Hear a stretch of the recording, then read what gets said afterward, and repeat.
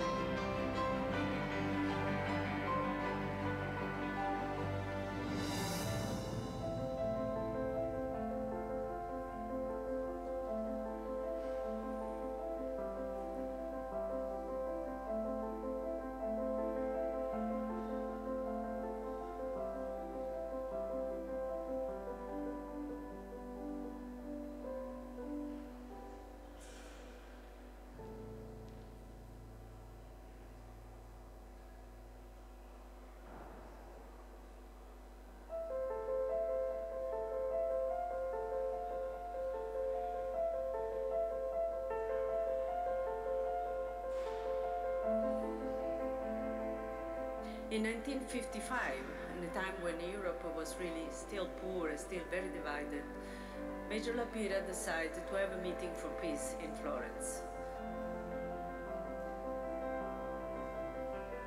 Signori ambasciatori, rappresentanti diplomatici, rappresentanti del governo, sindaci delle città di tutto il mondo, signore e signori, benvenuti a Firenze e benvenuti a Palazzo Vecchio, nel Salone dei Cinquecento.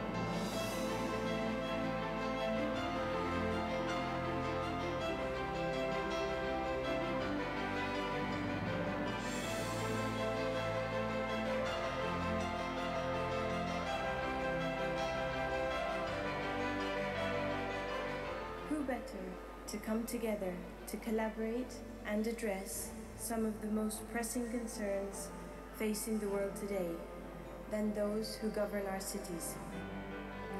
What finer city than Florence to form the backdrop for these discussions.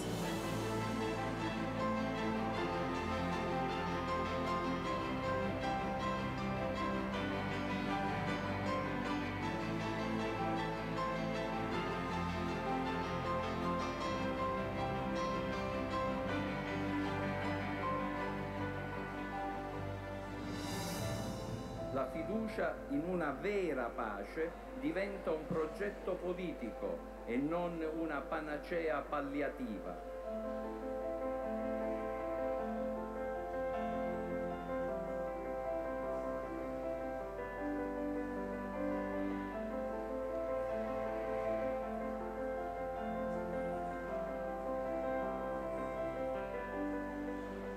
The culture must for peace. The culture must be the victory of peace.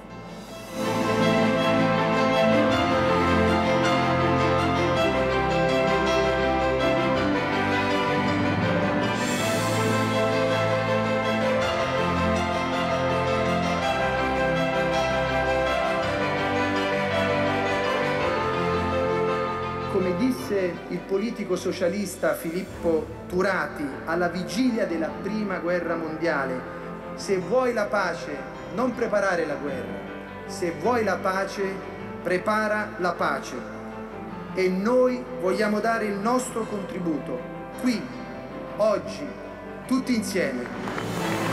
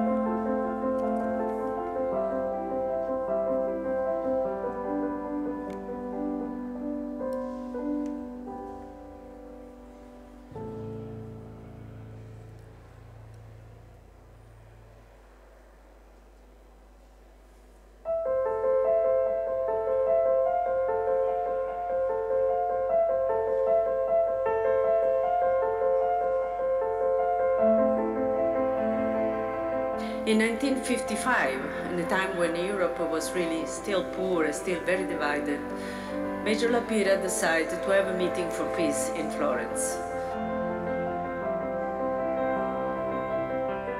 Signori ambasciatori, rappresentanti diplomatici, rappresentanti del governo, sindaci delle città di tutto il mondo, signore e signori, benvenuti a Firenze e benvenuti a Palazzo Vecchio, nel Salone dei Cinquecento.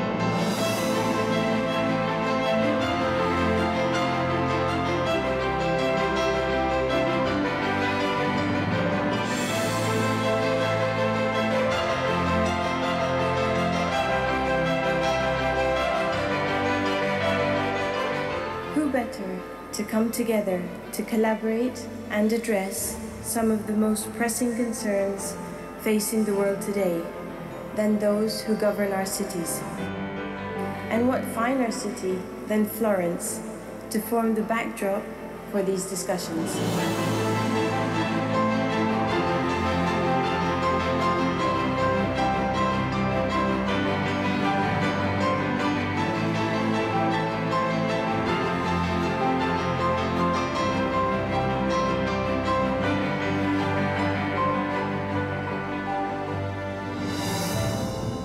Fiducia in una vera pace diventa un progetto politico e non una panacea palliativa.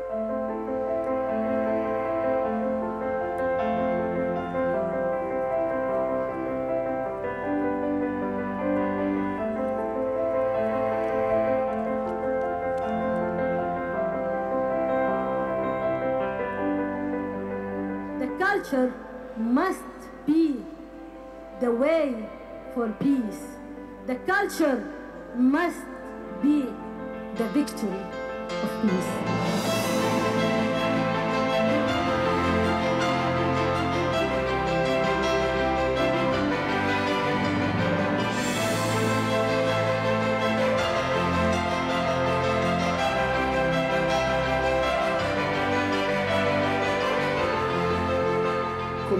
Disse il politico socialista Filippo Turati alla vigilia della prima guerra mondiale, se vuoi la pace non preparare la guerra, se vuoi la pace prepara la pace. E noi vogliamo dare il nostro contributo, qui, oggi, tutti insieme.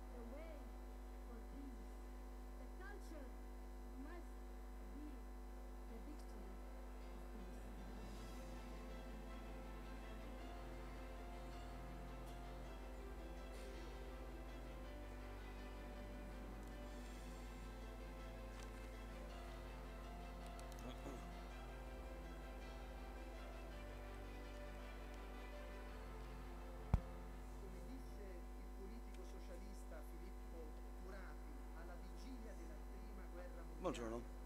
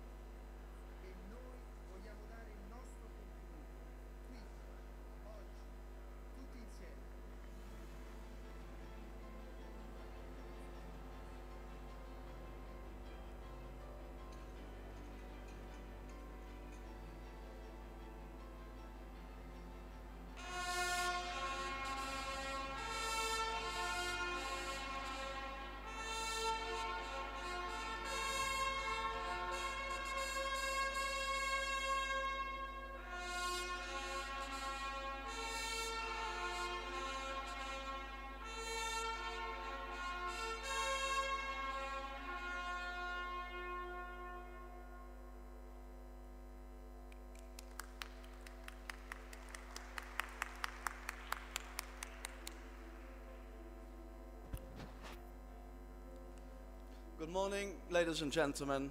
Good morning, mayors of all the world. Welcome here in this beautiful building, the Salone dei Cinquecento, the hall of the 500, in this beautiful Palazzo Vecchio in Florence. Um, this is uh, the first day of Unity in Diversity. It's an initiative of the mayor of Florence, Dario Nardella, in the spirit of a former mayor, and his name was Giorgio Lapira. Giorgio Lapira believed in dialogue between different religions and different cultures. He believed as well that it is important that the mass can do things that maybe countries are not able to do with each other. Once he wrote in the Mediterranean dialogues in 67, in the unity, if the unity of nations is not yet possible, we believe the unity of cities is. And this is the reason that in this spirit, Dario Nardella, the mayor of Florence, decided for the thir third time to do this initiative to unite different mayors of different countries in the world together. Um, it is 40 years ago that uh, George Alpira died, but his spirit is still alive. Um, now we will start the first session, the Mediterranean Cradle of Dialogue. The sea in between lands, as by its etymology, has been over the centuries an economic, social and cultural crossroads between Europe, Africa and Asia, between East and West, North and South. This complexity requires broader political strategies and a worldwide vision to tackle the root causes of our challenges and to turn them into an opportunity for stability and peace. Cities can be the very core of this strategy by developing a network to address and support strategic decisions at gov government levels and integrating equity to development agendas as an issue of social justice. To bridge inequality by improving social, economic and environmental conditions worldwide is an opportunity to think, build and live differently by facing the challenge of resilience in this age and rapid urbanization and climate change. That will be uh, the first session. And you see here on the right of me, uh, first of all, nat naturally, uh, the mayor of Florence, Dario Nardella, um, as well um, Mrs. Carrie Kennedy. She's the president of the Robert F. Kennedy Human Rights. And um, Staffan de Mistura, the United Nations Special Envoy for the Syrian crisis. Thank you very much for being here. And now the word to the Mayor of Florence, Dario Nardella.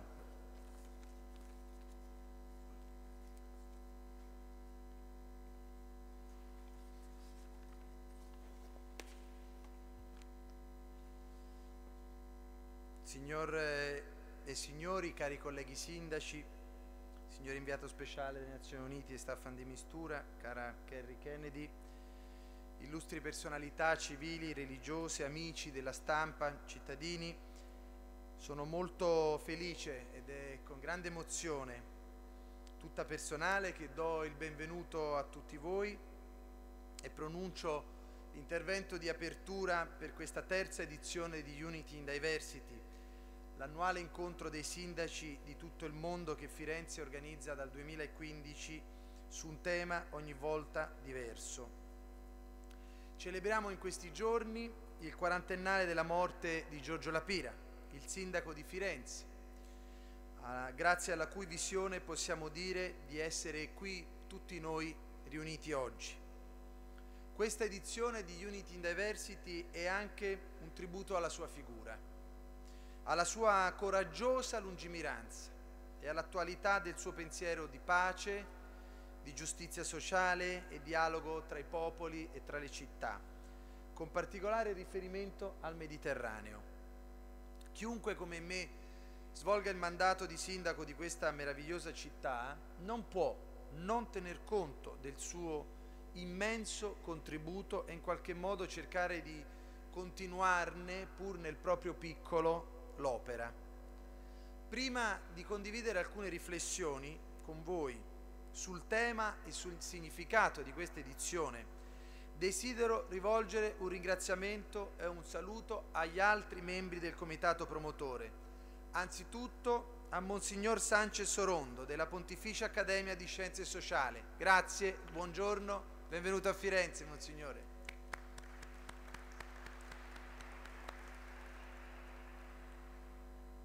Al Sindaco di Tunisi che è qui e grazie per averci raggiunto, e al Vice Sindaco di Atene e alla Vice Sindaca di Madrid.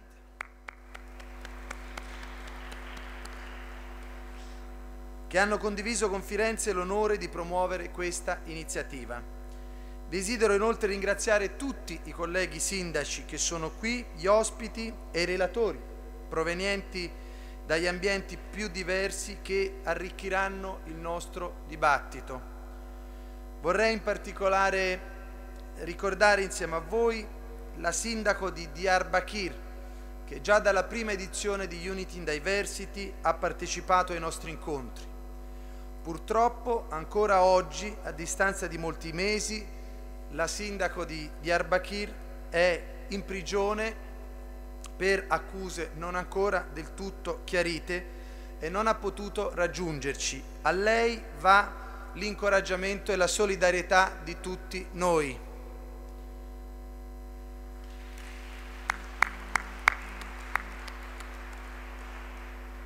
Cari amici, Giorgio Lapira diceva che il Mediterraneo era un grande lago di Tiberiade, destinato a diventare segno e strumento dell'incontro tra popoli diversi e del superamento delle barriere politiche, economiche, religiose, etniche e culturali, grazie alla vocazione al dialogo dei popoli che vi si affacciano, eredi delle tre grandi religioni monoteiste, quella della triplice famiglia di Abramo, Inoltre, per lui, dalla pace di Gerusalemme e del Mediterraneo sarebbe poi dipesa quella del mondo intero.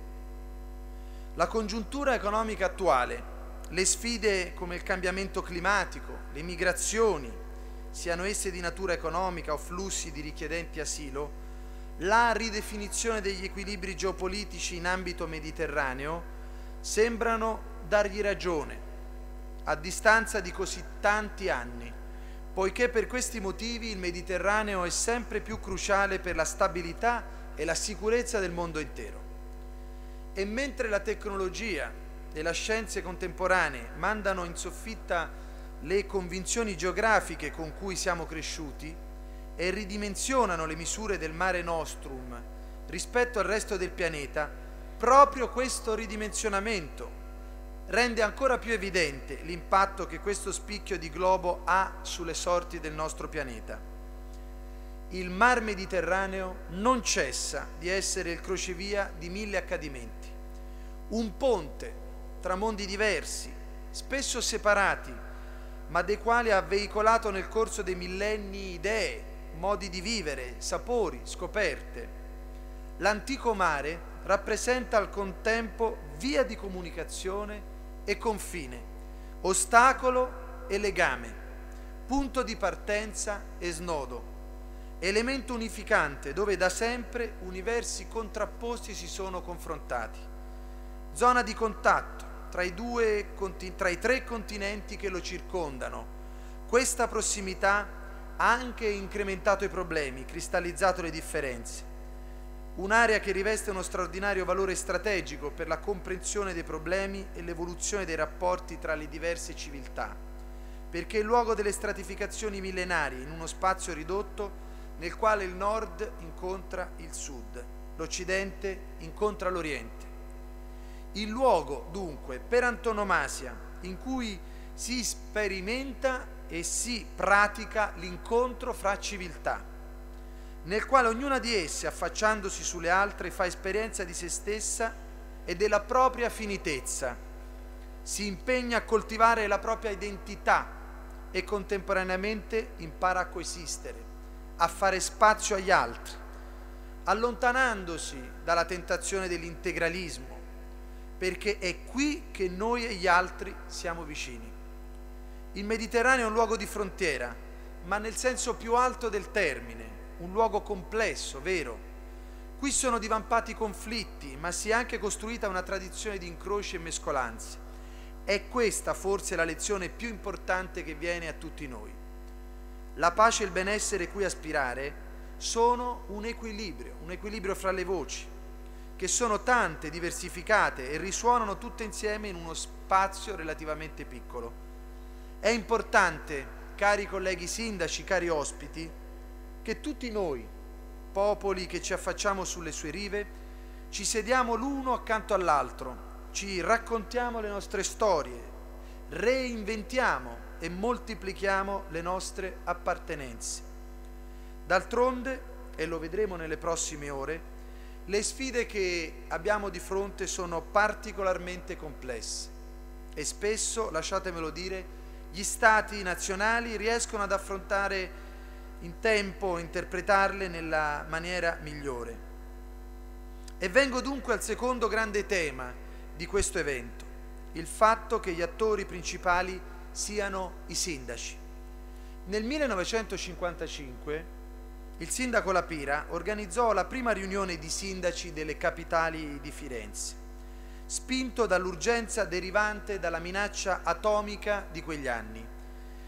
Disse allora, le città restano, specie le fondamentali, arroccate sopra i valori eterni, portando con sé lungo il corso tutto dei secoli e delle generazioni gli eventi storici di cui esse sono state attrici e testimoni. Restano come libri vivi della storia umana e della civiltà umana, destinati alla formazione spirituale e materiale delle generazioni venture. Come è stato felicemente detto, infatti, la crisi del tempo nostro può essere definita come sradicamento della persona dal contesto organico della città. Ebbene, continua il sindaco Lapira. Questa crisi non potrà essere risolta che mediante un radicamento nuovo, più profondo, più organico, della persona nella città in cui essa è nata e nella cui storia, nella cui tradizione essa è organicamente inserita. Daremo vita, per così dire, ad uno strumento diplomatico nuovo, uno strumento che esprime la volontà di pace delle città del mondo intero e che tesse un patto di fraternità alla base stessa della vita delle nazioni. Così disse nel 1955 il sindaco di Firenze. Come non vedere l'estrema attualità del suo pensiero? Come non vedere già in queste frasi i problemi dell'integrazione e della radicalizzazione nelle periferie, dello sradicamento dovuto alla ricerca di condizioni di vita migliori, alla fuga dalla guerra o dalla desertificazione e allo stesso tempo l'emergere di spinte populiste e di tendenze alla disgregazione, la difficoltà del livello statale di arrivare lì dove solo il livello locale può avere orecchie e mani per aiutare? Come non vedere tutto questo? Non mi stancherò mai di ripetere che i sindaci sono la prima linea della società sentono per primi gli umori dei cittadini e sono il loro primo interlocutore. Gli stati dovrebbero forse fornire loro maggiori risorse e ascoltarli di più perché sono la loro cassa di risonanza, perché senza di loro le voci del territorio si perdono nella distanza dai governi centrali. Dirò di più, l'evoluzione tecnologica, la crescente domanda di partecipazione dei cittadini e la globalizzazione rendono oggi ancora più necessario il ruolo dei sindaci. Gli incontri e gli scambi sono sempre più intensi e frequenti. Il mondo è una rete globale e le categorie tradizionali saltano, ma allo stesso tempo, e proprio per questo, aumentano dalla base le richieste di definizione identitaria, di maggiore voce in capitolo e di controllo diretto sulle risorse, che se non trovano risposte sin dal primo livello societario rischiano di provocare conseguenze disastrose. Cari colleghi, i relatori che ascolteremo nelle prossime ore ci aiuteranno a mettere a fuoco possibili soluzioni concrete e approfondire le nostre analisi che riverseremo in un documento finale dal quale ne sono convinto non potrà mancare un'offerta e un appello a un ruolo più attivo da parte dei sindaci del Mediterraneo e del mondo, perché nei modi che verranno ritenuti più opportuni possano dare il loro fondamentale contributo alla soluzione delle grandi sfide che dobbiamo affrontare tutti insieme. Già dalle prossime ore faremo circolare la bozza di questo documento finale che poi potremo firmare tutti insieme. A proposito del nostro lavoro di Unity in Diversity, alla terza edizione, vorrei anche lanciare una proposta a tutti voi e ai colleghi sindaci e amministratori che oggi non hanno potuto raggiungere Firenze, ovvero quello di creare un board permanente o anche un'associazione di tutte le città che hanno aderito fin dal 2015 a Unity in Diversity, visto che è importante dare continuità al nostro lavoro per poter ottenere sempre più ascolto dalle organizzazioni internazionali e dai governi nazionali.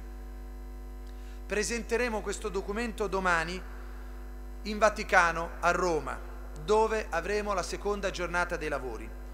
In omaggio sia all'attenzione che il Santo Padre ha sempre dimostrato verso il ruolo dei sindaci e ricordo a questo proposito l'iniziativa dell'anno scorso, sempre con l'Accademia Pontificia delle Scienze a proposito dei migranti e l'iniziativa di due anni fa sull'enciclica Laudato Si che ha messo al centro le grandi sfide del cambiamento climatico e della povertà. Ma consegniamo questa carta anche in omaggio allo spirito di dialogo interreligioso e interculturale che anima tutto l'esercizio. Prima di chiudere, cari ospiti, vorrei rivolgere un caloroso ringraziamento a tutti coloro che hanno reso possibile l'evento, i nostri sponsor come ENIC, il Comitato per le celebrazioni del quarantesimo anniversario della morte di Giorgio Lapira. Oggi sarà consegnato il premio intitolato al sindaco Giorgio Lapira ad un collega italiano e ad un collega straniero. Sensi contemporanei, l'Agenzia per la coesione territoriale, il Ministero per i beni e le attività culturali, la Regione Toscana, la Fondazione Sistema Toscana NTV quale ha messo a disposizione un treno apposta per eh, noi per poterci trasferire a Roma in serata alla fine dei nostri lavori. Un grazie personale allo staff della città, senza il cui prezioso lavoro non saremo qui oggi. Il lavoro di oggi è infatti il frutto di mesi di preparazione. Sappiamo bene quanto sia difficile per un sindaco un amministratore lasciare gli impegni della propria comunità e dedicarsi a a giornate di confronto di questo tipo. Ma, cari colleghi, sappiamo che stanno aumentando le occasioni di incontri tra i sindaci di tutto il mondo, associazioni e reti alle quali aderiscono città di ogni continente. Perché? Perché aumenta tutto questo? Perché aumenta un bisogno, un desiderio dai nostri territori, dalle nostre comunità, a far arrivare le voci della quotidianità delle nostre comunità e dei nostri cittadini alle organizzazioni internazionali. Sono voci che riguardano i grandi temi e le grandi sfide del futuro, ma anche del presente. Il cambiamento climatico, la distribuzione della ricchezza, le emergenze sociali, l'immigrazione e ovviamente anche lo sviluppo sostenibile di una economia che sia sempre più legata al territorio. Dal basso possono partire le soluzioni a problemi annuali, annosi, ai quali non sempre si riescono a trovare le migliori soluzioni. Il mondo ha bisogno delle città, sempre di più, e quindi vi ringrazio per lo sforzo e il sacrificio che avete fatto nel lasciare le vostre città e dedicare il vostro tempo a questo confronto, dal quale sono convinto usciremo più arricchiti, anche nell'interesse dei nostri stessi cittadini. Auguro a tutti voi buon lavoro per questa importante giornata. Grazie.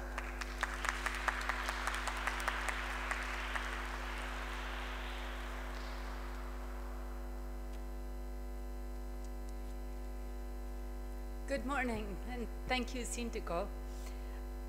Um, thank you, Sindico Nardello, Cardinal Marcelo Sanchez, and uh, mayors and distinguished guests. Last night we spoke about Robert Kennedy. This morning I'd like to talk about President Kennedy and the quest for peace. His efforts saved us again and again from war, even nuclear annihilation.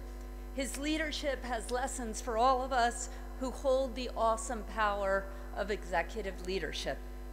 Before I start, I'm going to make an unabashed plug for the Robert F. Kennedy Human Rights Curriculum. If you think the students in your cities would benefit from hearing the stories of Robert and John Kennedy about people like Nelson Mandela and Malala, if you think they will benefit from learning how to create change in their classrooms, their communities, and our shared world, please see me, and we will bring the curriculum to the schools in your cities as uh, Nardello has done here in Florence.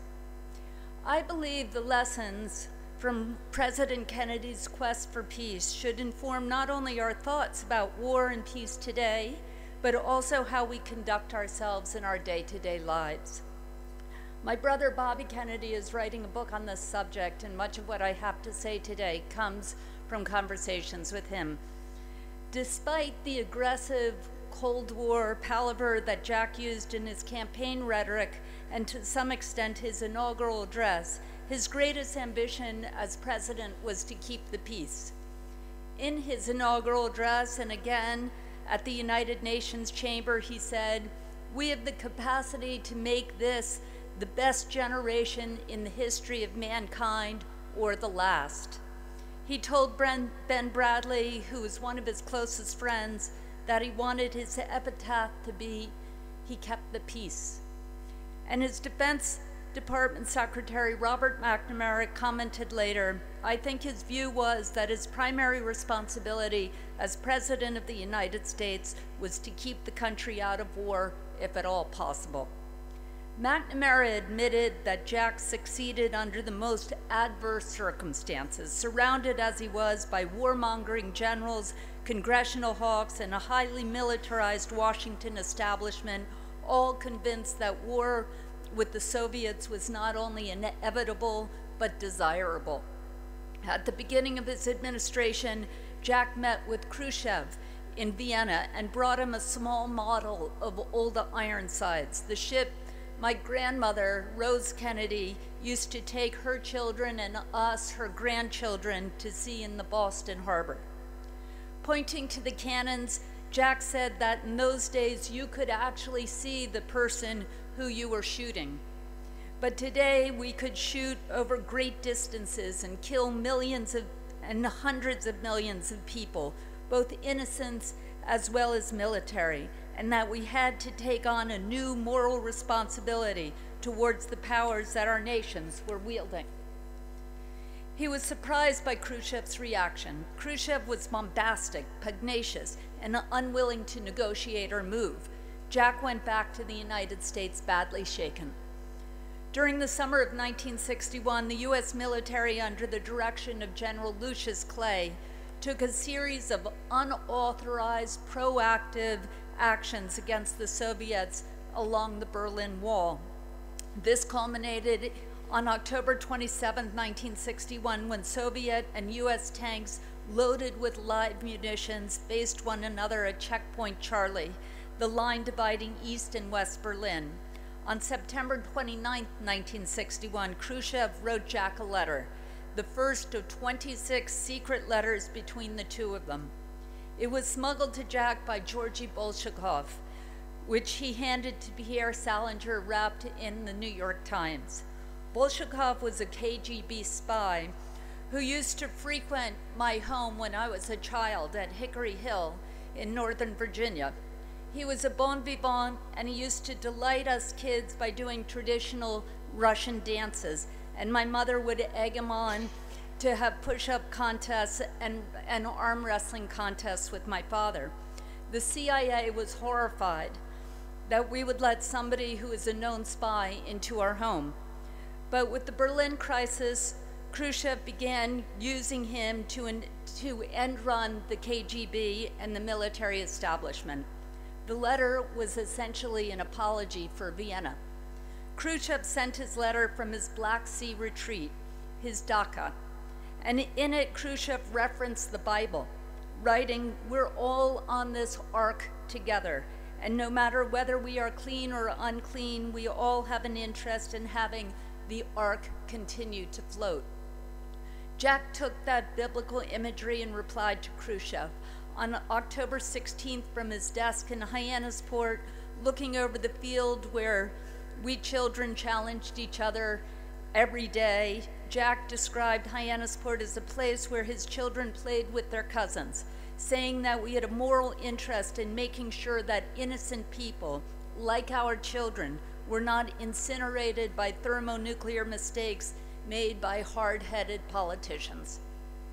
In the second letter, Khrushchev said, I have no ground to retreat further. There is a precipice behind me. And Jack understood at that point that Khrushchev was in the exact situation that he was in. They both were confronting their own military and intelligence complex that were intent on going to war. Jack understood Khrushchev's predicament and gave him the room he needed. He told him at the time, if you withdrew if you withdraw your tanks, I'll withdraw mine within 20 minutes. Jack said to his advisors at the time, who wanted him to launch attacks on the Russians, I am not going to war over driving rights on the Autobahn. In the aftermath of the crisis, General Lucius Clay called Jack a traitor for not using the atomic bomb on the Soviets. I wanted to tell you that story and because I think it's so important to have leaders who have a vision of peace and who are committed to peace and who understand not only their own predicament, but the predicament of their enemies, who can put themselves in the shoes of their enemies and try and come to some way of avoiding war for all of us. But not just avoiding war, avoiding all conflict. And I think that um, if you look at what Jack and my father did in the Berlin crisis and then in Vietnam and then uh, in the Cuban Missile Crisis, that in each instance, what they tried to do is imagine what it was like on the other side of those arguments and try to come up with a, a plan for peace. Our world was saved again and again and again by leaders who listened carefully to advisors but acted independently, who were willing to consider war but were committed to peace. Leaders who had the courage to stand up to the Pentagon, the CIA, and the military industrial congressional complex, and who had the sensitivity to understand the plight of their enemies. Leaders whose judgment was sound, whose imagination soared, and who spoke truth to power. Daddy was touched by many people who said that with Jack's assassination, so died their hope. But he did not share that sentiment. He said we must learn the lessons of Jack's life and model our own actions after the best of his brothers. Those men and their commitment recall Stephen Spender's famous lines I, can, I think continually of those who are truly great the names of those who in their lives fought for life, who wore at their hearts the fire's center. Born of the sun, they traveled a short while toward the sun and left the vivid air signed with their honor. Thank you very much.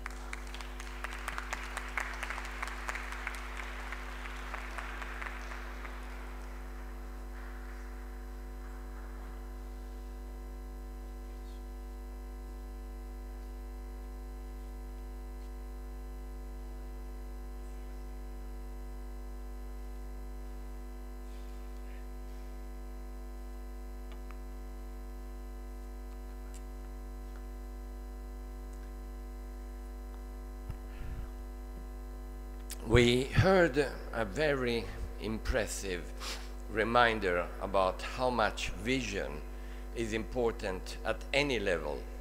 Mayors, ministers, heads of states, and how precious it is having a moral compass when you have to take decisions which affect millions of people, many of your citizens.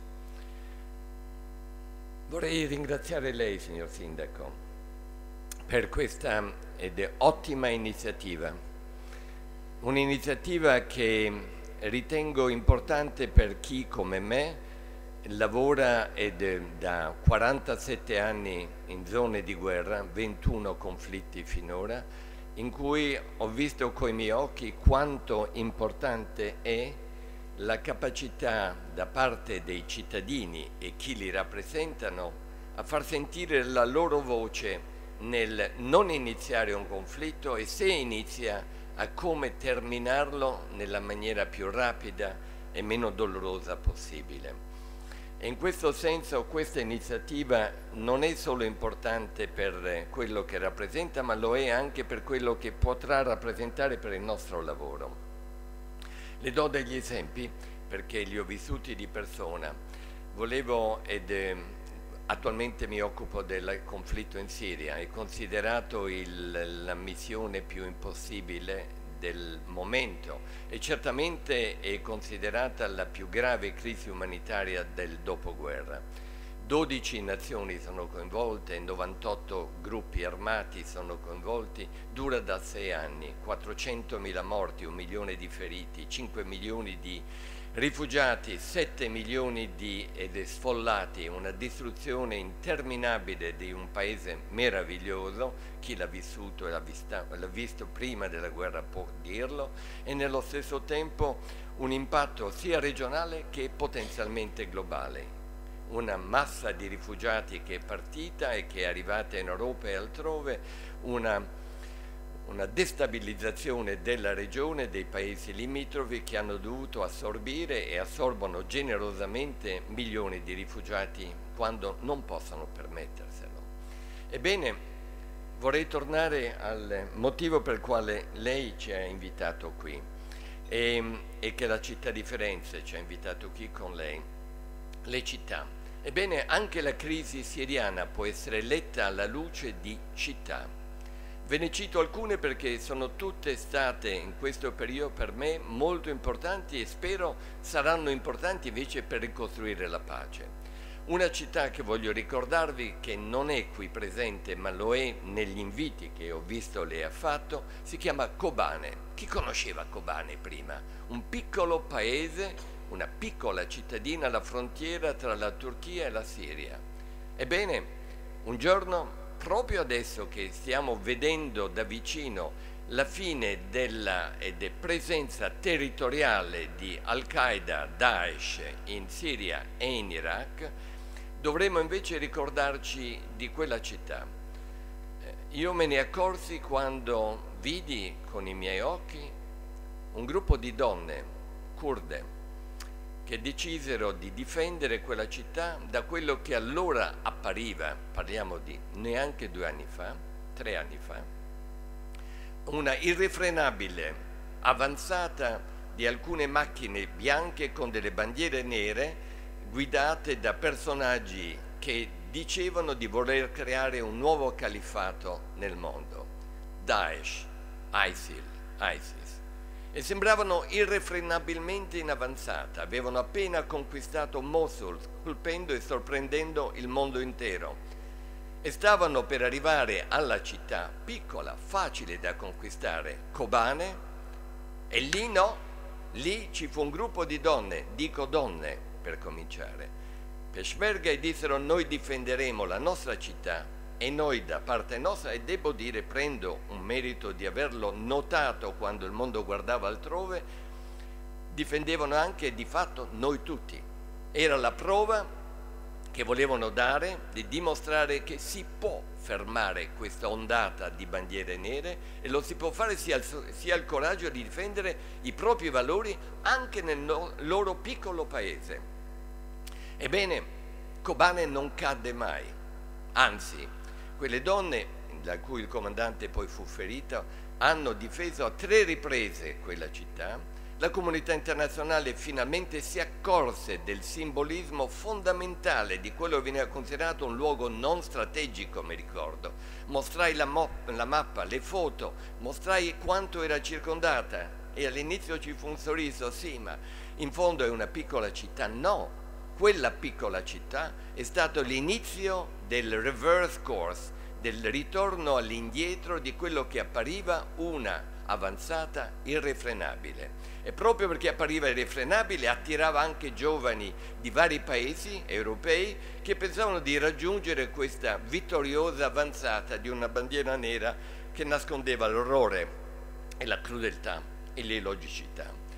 Oggi, pochi giorni fa, abbiamo visto che Deir el-Zur e adesso Raqqa l'ultima capitale, tra virgolette, di Daesh, è stata o sta per essere completamente liberata di Resur. E lo stesso è avvenuto con Mosul, ma tutto cominciò con una piccola città chiamata Kobane.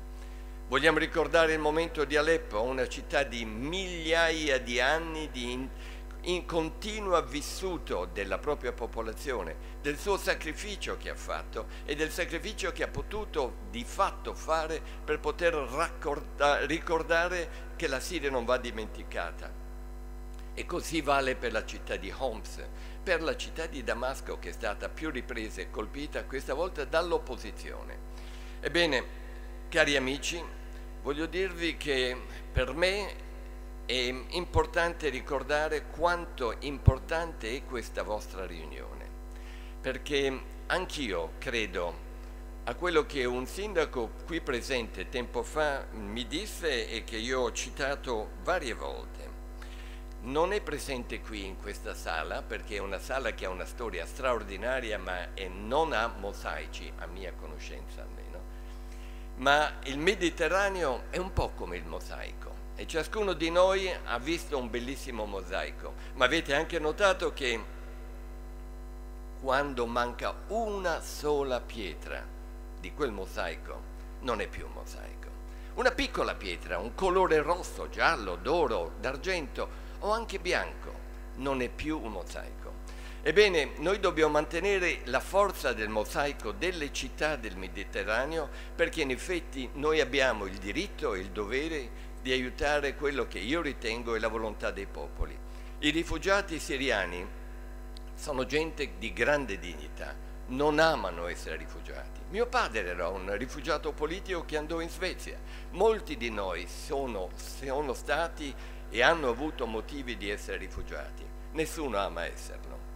Ebbene vi assicuro che se noi, cosa che stiamo tentando di fare in questi giorni, riusciremo a riportare, usando lo spirito di Kobane, usando la forza e il coraggio della popolazione di Aleppo, la pace in Siria, quei rifugiati vorranno tornare nel proprio paese o non lasciarlo. E questo tutto comincia dalla gente, dai cittadini, dalle città. Grazie.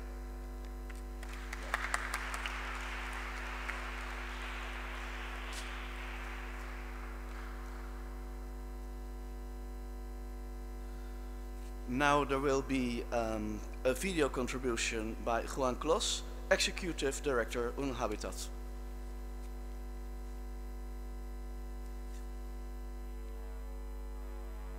Caro Sindico, uh, dear friends, it's a pleasure to, to address the conference uh, in uh, Florence uh, about urbanization in the Mediterranean and uh, I think that this is very convenient because uh, at that moment the Mediterranean is going through quite a number of challenges, not the least the migration crisis, but mm, other issues that are very relevant. And we think that urbanization, as always, need to be um, managed and need to be directed and need to be brought to the uh, circumstances or to the condition to deliver uh, prosperity and wealth for the people. Uh, I think that uh, in the post-industrial area where we are now already in many parts of the world and which is globalizing very fast, urban areas, cities, they play a very specific role in generating jobs, in nurturing and hosting economic activity, and uh, we are seeing that this is more and more important. And when we are thinking of communities or countries or, or, or peoples uh, to get engaged in the uh, development process, uh, we should remember that one tool to accelerate the process of, govern of, of, uh, of uh, development is to improve the quality of urbanization. And, and, and this is something in a way relatively new because uh, the specialists of development they don't tend to see urbanization as a tool for development. They tend to see urbanization as an outcome of development. And we consider from the urbanistic point of view that this is not a proper analysis of urbanization. The proper approach to urbanization especially when we move to the industrial society and especially to the post-industrial society, we need to look at urbanization as a tool for development. And then if we consider urbanization as a tool for development, then other, other strategies uh, uh, for uh, improving urbanization come to your mind. Uh, if the objective is that mm, the kind of urbanization that I want for my city needs to make uh, easy to create more jobs, you will probably will uh, do different things that if you are thinking in other objective for your cities. And job creation in the Mediterranean, uh, in both sides, but in the Mediterranean nowadays, both in the south and in the north, both communities, they need uh, uh, to insist in this productive function of urbanization, this capacity of urbanization to offer solutions, not to concentrate problems. And uh, in that sense, I think that uh, a critical analysis is required about uh, urbanization, and, and, and we need to be ready to change quite a number of things if we want to address this question. We need to be able to, to change even the uh, legal framework for urbanization in many parts, because in many parts of the world, the legal structure, the legal, the legal framework that, the govern that governs the urbanization process is one of the key aspects that uh, uh, undermines the, the cities to adapt to the new circumstances. Of course, the urban planning framework, it's very clear uh, clearly a, a, function that needs to be revisited, especially in the cities and in the places where the urbanization is growing very fast. And um, uh, we see countries and cities that they are urbanizing at a very high speed, especially in the south of the Mediterranean. And therefore, there's a huge opportunity to uh, adopt uh, good um, urban planning practices. And the third pillar of urbanization is uh, to design the financial model of urbanization, how we are going to collect or, or, or have the resources to manage, sustain, and improve the cities. And if this financial uh, design is not embedded in the process of urbanization, then uh, we can only uh, embrace or, or face uh, problems in, in the short term. Therefore, the revision of uh, the legal framework, the redesign of the urban planning, and the revision of the financial modalities of the urbanization process in the Mediterranean, uh, it's quite a, a, a, crucial aspect of the moment where we are in this uh, challenging period of history that uh, corresponds to us to, uh, to, to manage, to go with. I wish and I hope that the conference uh, in uh, Florence, dear Mayor, and dear authorities, and dear friends, is going to be a very good occasion to talk uh, and to initiate and or to continue this very relevant conversation. Thank you very much.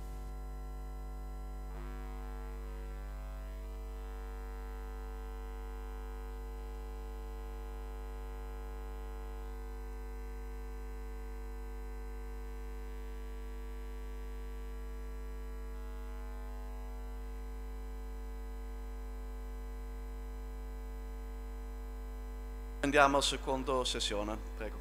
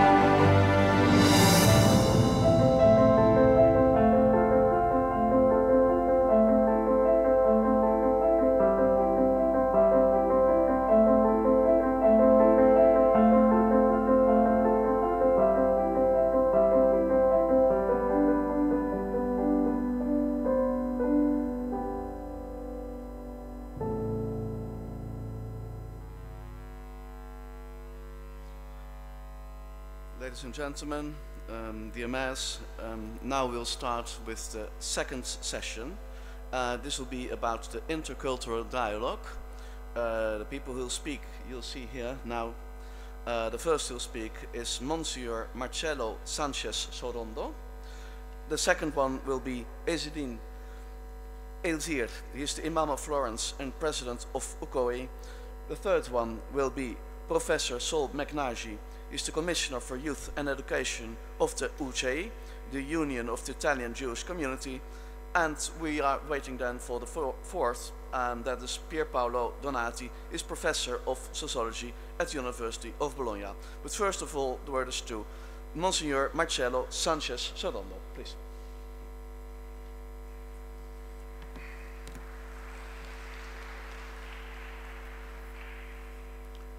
Onorevoli sindaci, onorevole sindaco Nardella, onorevoli professori, personalità, signori, signore, sono molto grato e onorato di essere qui e iniziare questo dialogo interreligioso e interculturale.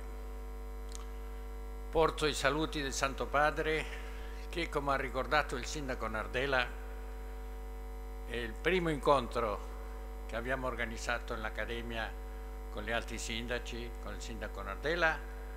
Lui è venuto personalmente, perché, come ha detto il sindaco Nardella, lui considera, come consideriamo noi, che i sindaci sono eletti dei, dei popoli e perciò sono vicino all'interesse dei popoli, della gente e sono loro che più sentono quello che è il bisogno della gente. E quindi per prima volta con il Papa Francesco abbiamo fatto un incontro dei sindaci per parlare della Laudato Si e per parlare delle forme estreme della globalizzazione dell'indifferenza.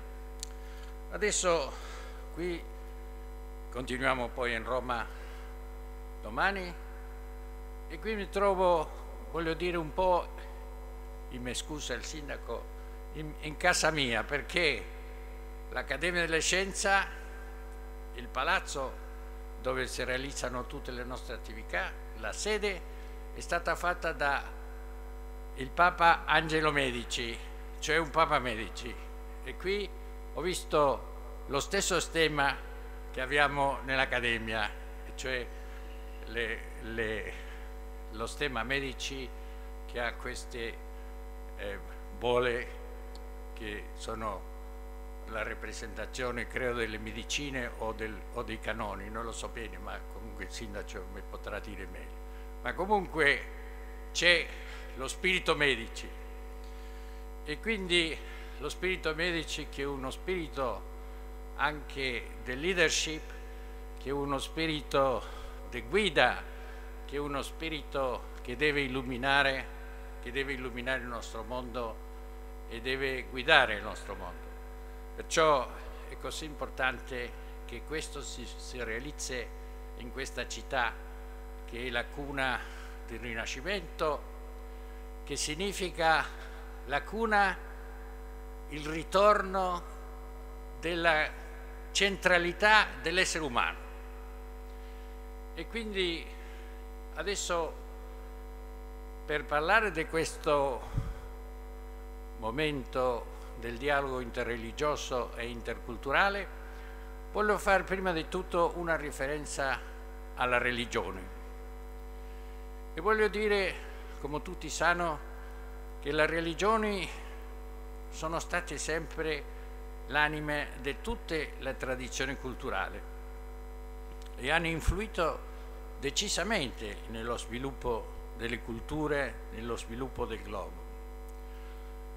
Con la globalizzazione, consapevoli di che il mondo in certo modo si è fatto più piccolo, il tempo e lo spazio sono divenuti più vicini e quindi gli uomini si conoscono più, le culture si conoscono più, le religioni si conoscono più e quindi il Concilio Vaticano, attento a questa circostanza ha creato due consigli, due ministeri, due strumenti del dialogo interreligioso.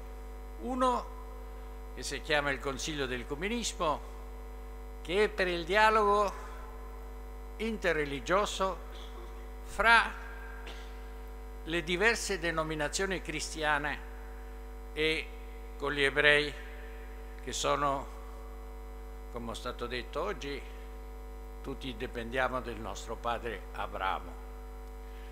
E ha creato un altro consiglio che è per il dialogo interreligioso, e cioè per tutte le altre religioni.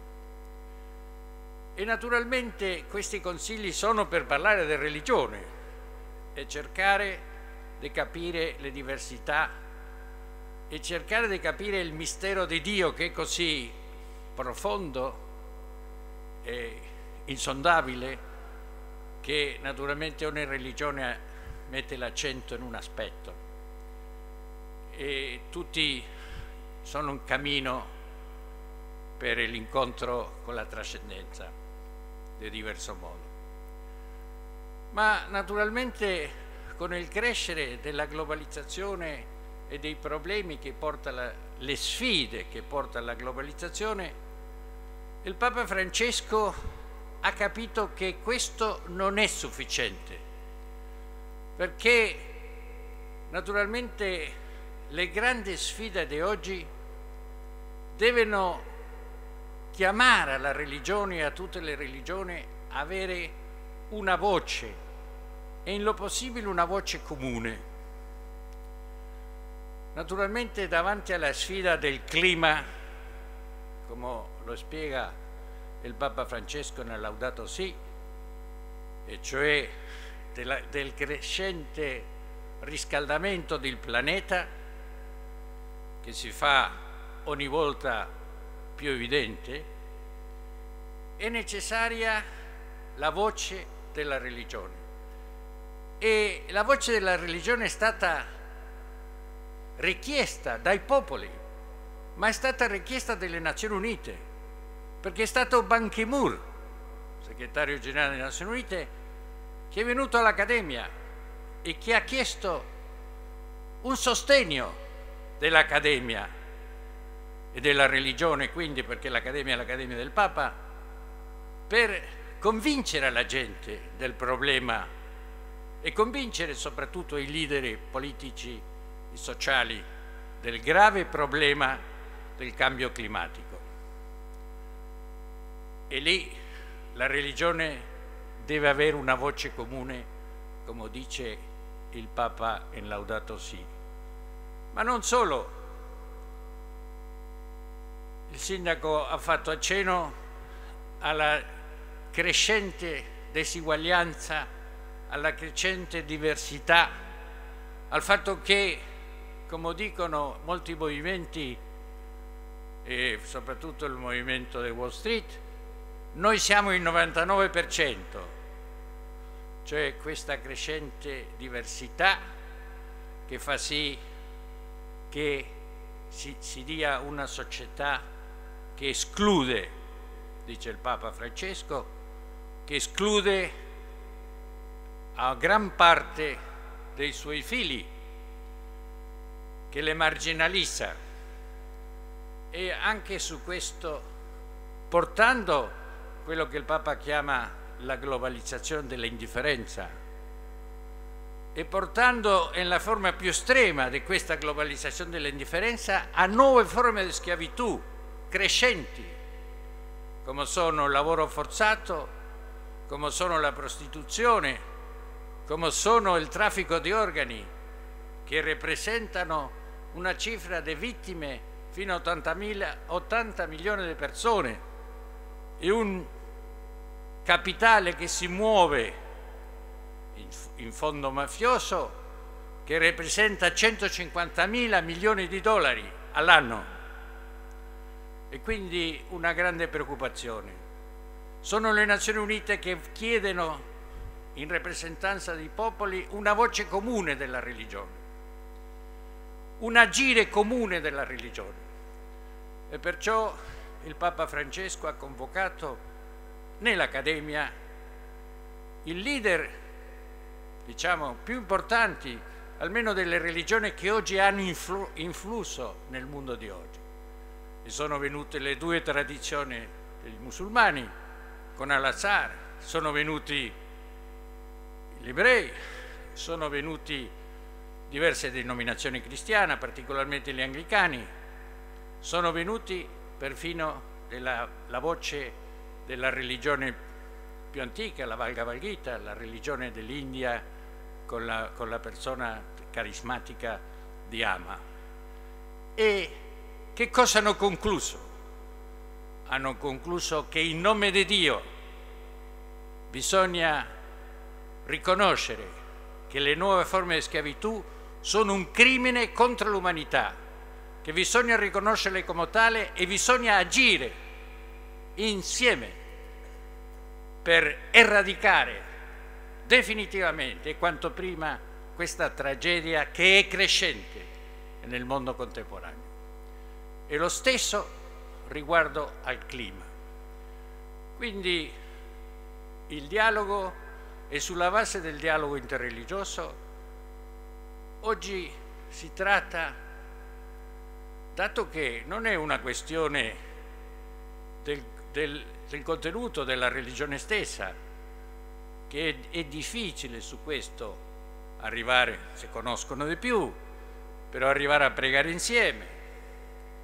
Invece sì, se deve agire insieme per difendere il prodotto più grande di tutte le culture che qui si trova una delle sue manifestazioni più importanti qui a Firenze e cioè che è la dignità dell'essere umano, della persona umana, che è la libertà di ciascuno degli esseri umani, che è la giustizia di ciascuno degli, che è necessaria per tutti i popoli, che è il gran bene della pace, senza del quale non, può, non si può progressare. E così hanno dichiarato, come già lo aveva fatto Giovanni Paolo II, che la religione non può essere strumento di guerra, non può essere strumento contro la pace. Allo stesso tempo hanno dichiarato che si deve agire insieme per tornare a un equilibrio nel clima che è una minaccia veramente crescente per tutti gli esseri umani e per il pianeta. Un rispetto al pianeta, un rispetto, come diceva San Francesco, alla Madre Terra. Molte grazie.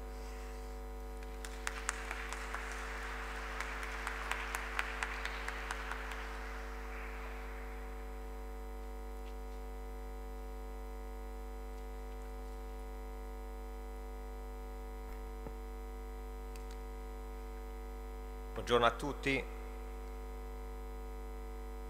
onorevole sindaci, signor sindaco, signore e signore, ringrazio per questa possibilità di dare un contributo al dialogo interreligioso, interculturale, come Presidente dell'Unione delle Comunità Islamiche d'Italia, nonché anche l'imam di questa città che sono orgoglioso di essere un cittadino di questa città. Firenze è stata ricordata per il Rinascimento, Firenze Giorgio Labira, ma vi piace ricordarla anche di attualità, dove una realtà di dialogo, di confronto vivo, non solo vive di storia, ma vive di presente, di attualità, dove grazie a questa realtà culturale, dove il terreno era già pronto per creare un dialogo fra musulmani, cristiani e grazie anche alla realtà cristiana che è diventata un ponte di dialogo anche con il mondo ebraico,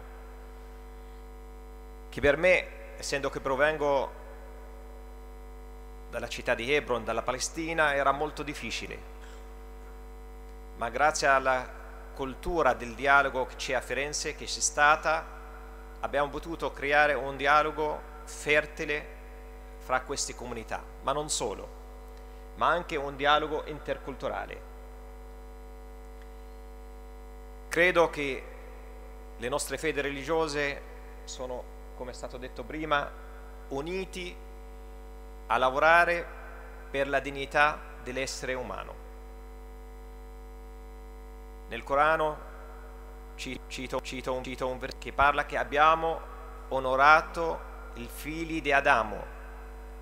Non ha parlato dei musulmani o dei cristiani, dei credenti, o dei diversamente credenti, ma ha parlato Dio, il Creatore, il Clemente, il Misericordioso, del figli di Adamo. Allora, non solo la responsabilità dei sindaci o della politica o dei uomini e donne di diverse fede, ma di tutti quanti noi di onorare i figli di Adamo. Per onorare questi figli dobbiamo lavorare su quello che è stato detto prima, sottolineando l'importanza di lavorare per la libertà, la libertà di tutti i cittadini del mondo, per la giustizia, per la giustizia di tutti gli uomini, le donne del mondo, contro ogni violenza. Non c'è una guerra santa, non ci sono guerre sante, le, guerre sono sporche, la pace, la convivenza santa questo dipende da noi, non dipende dalle nostre fedi religiose o del nostro pensiero filosofico o politico, ma dipende da noi.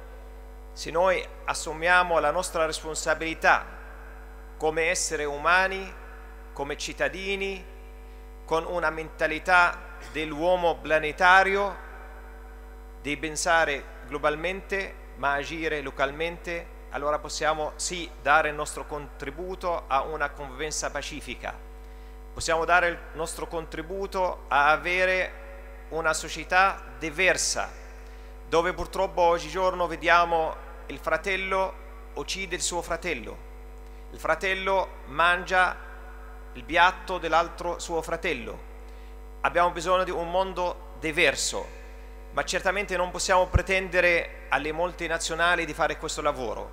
Dobbiamo iniziare da noi stessi.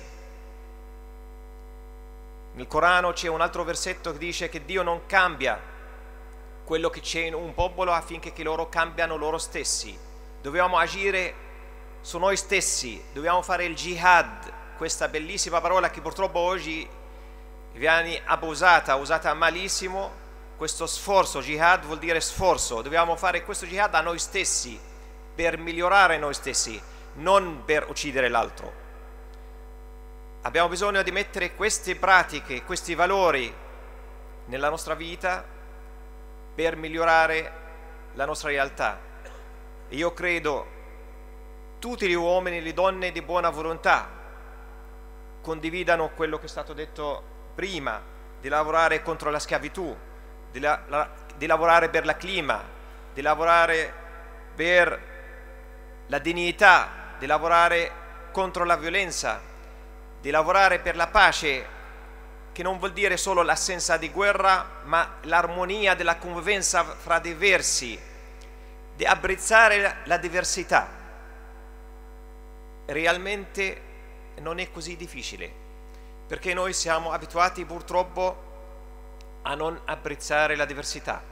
Noi siamo abituati che la diversità, l'altro, il diverso, il nemico, il nemico deve essere eliminato.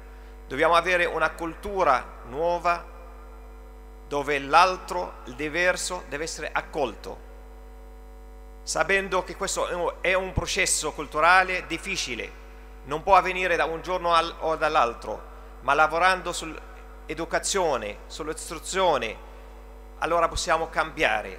Perciò il mio invito non solo a noi come comunità religiose, ma anche ai sindaci, alla politica di investire sulla scuola, sull'educazione, sull'istruzione, dovunque, perché dove c'è una persona istruita, educata, allora c'è la possibilità del dialogo, non è il nostro obiettivo del dialogo interreligioso, interculturale, di eliminare le diversità, anzi noi consideriamo le diversità sono delle ricchezze, ma il nostro obiettivo è di rispettare le diversità.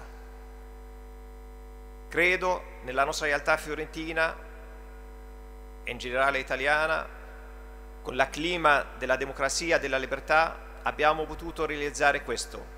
Allora dobbiamo aiutare popoli, città dove si trovano in difficoltà di passare questi momenti difficili, dove popoli nell'altra sponda del Mediterraneo sono usciti ragazzi e ragazze insieme per chiedere libertà, dignità e noi il nostro ruolo in questo di aiutarli a fare questo processo democratico che stanno chiedendo.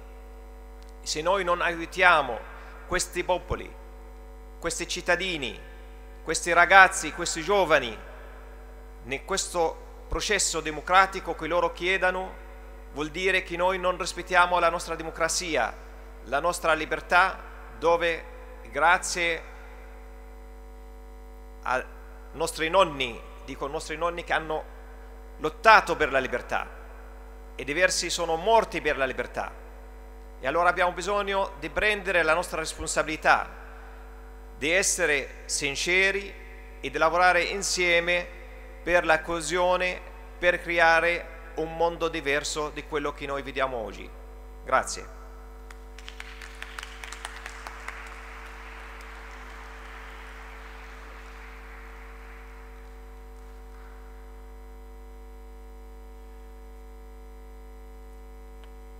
Buongiorno a tutti, grazie dell'invito a nome delle comunità ebraiche italiane.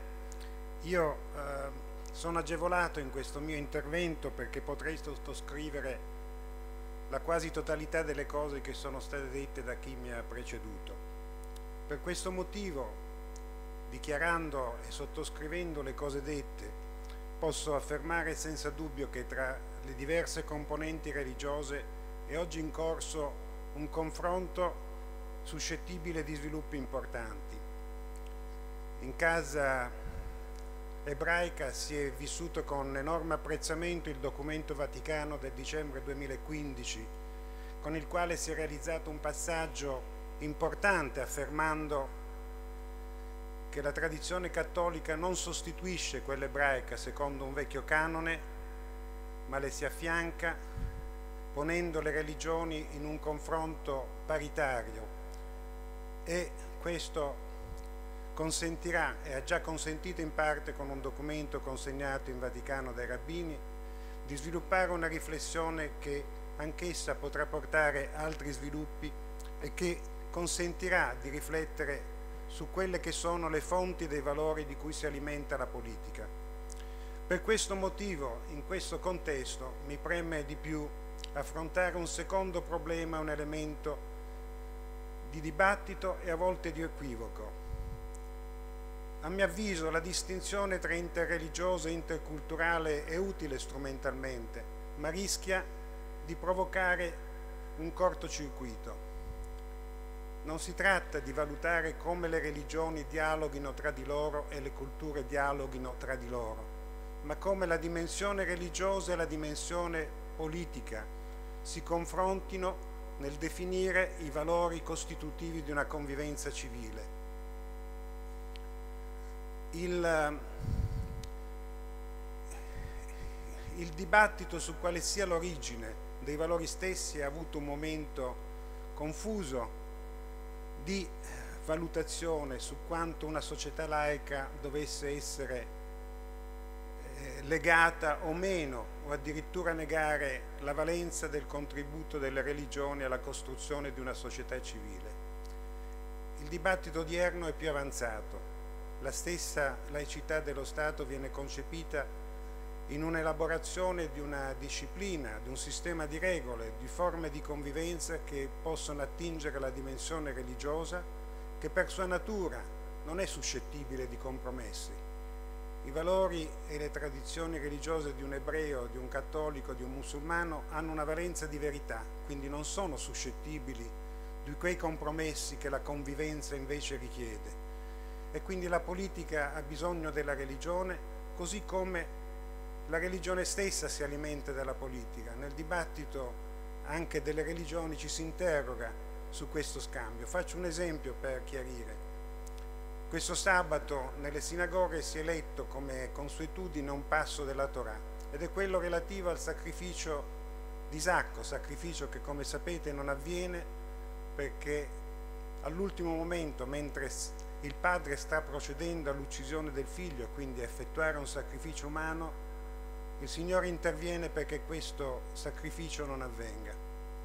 Ebbene, una, uno dei commenti più interessanti che vengono fatti è se non fosse quello il modo con cui comunicare al popolo che il sacrificio umano, forse praticato, non debba mai avvenire. Quindi, così come la società civile si alimenta delle religioni, Così le religioni si alimentano e fanno propri, come abbiamo visto anche in alcuni dei contributi che sono venuti poc'anzi, delle difficoltà, delle fatiche di questo momento storico, ma anche di momenti storici passati, per definire delle linee di condotta, delle valenze morali, delle forme di confronto che consentono di fare dei passi in avanti. Il dibattito tra coloro che si occupano di ambiente e anche di tutte le eh, trasformazioni che si pongono sul piano etico, si alimenta di una figura che è utile citare oggi, che è quella di Ansionas. Ansionas è conosciuto per il suo libro sul principio di responsabilità e sugli interrogativi che si pone sull'esistenza di Dio dopo essere stata ad Auschwitz. Ecco, questa questa esperienza di questo filosofo che allievo di Heidegger si allontana dal maestro nel momento in cui vede l'avvicinamento del maestro a Hitler, si pone un interrogativo quando rientrato in Germania scopre che la madre è stata uccisa da Auschwitz, che non è tanto quello di interrogarsi sulle colpe e sulle violenze, ma si pone l'interrogativo su come spiegare alle generazioni future quello che è successo senza distruggere nel loro animo la speranza di poter cambiare e soprattutto perché le giovani generazioni possano avere nuovamente fiducia nell'uomo. Il principio di responsabilità si basa su questo. Abbiamo la responsabilità di produrre e di costruire una società che si basi su valori e che si basi su idee che consentano ai giovani di qualunque religione, di qualunque tradizione, religiose o atee, di potersi fidare l'uno dell'altro. In questo momento in cui si volge più lo spa, il pensiero verso il passato che verso il futuro, così ci dicono gli studiosi del cambiamento sociale, abbiamo viceversa bisogno di poter proporre dei modelli di comportamento, dei modelli etici, delle forme di solidarietà che consentano ai giovani di poter affrontare con fiducia la società che abbiamo di fronte. Per questo motivo, mentre le religioni fanno il loro cammino, è fondamentale che la politica faccia il suo cammino in contesti reali, in cui problemi di convivenza tra diversi si pongano sul terreno, dove più che la dimensione nazionale i contesti locali si misurano con le difficoltà della convivenza, perché non è facile vivere con persone diverse tra persone diverse. È necessario che si costruiscano le condizioni perché la convivenza sussista e mentre le religioni possono alimentare la dimensione della fiducia è necessario che la politica si faccia carico delle condizioni concrete perché questa convivenza possa avere luogo. Io auguro quindi a questo consesso un buon lavoro perché mi sembra che il compito che è affidato oggi a coloro che detengono una titolarità e un potere per legiferare e per regolare la convivenza sia un compito di estrema difficoltà e la responsabilità che è data loro sia enorme. Buona prosecuzione e grazie.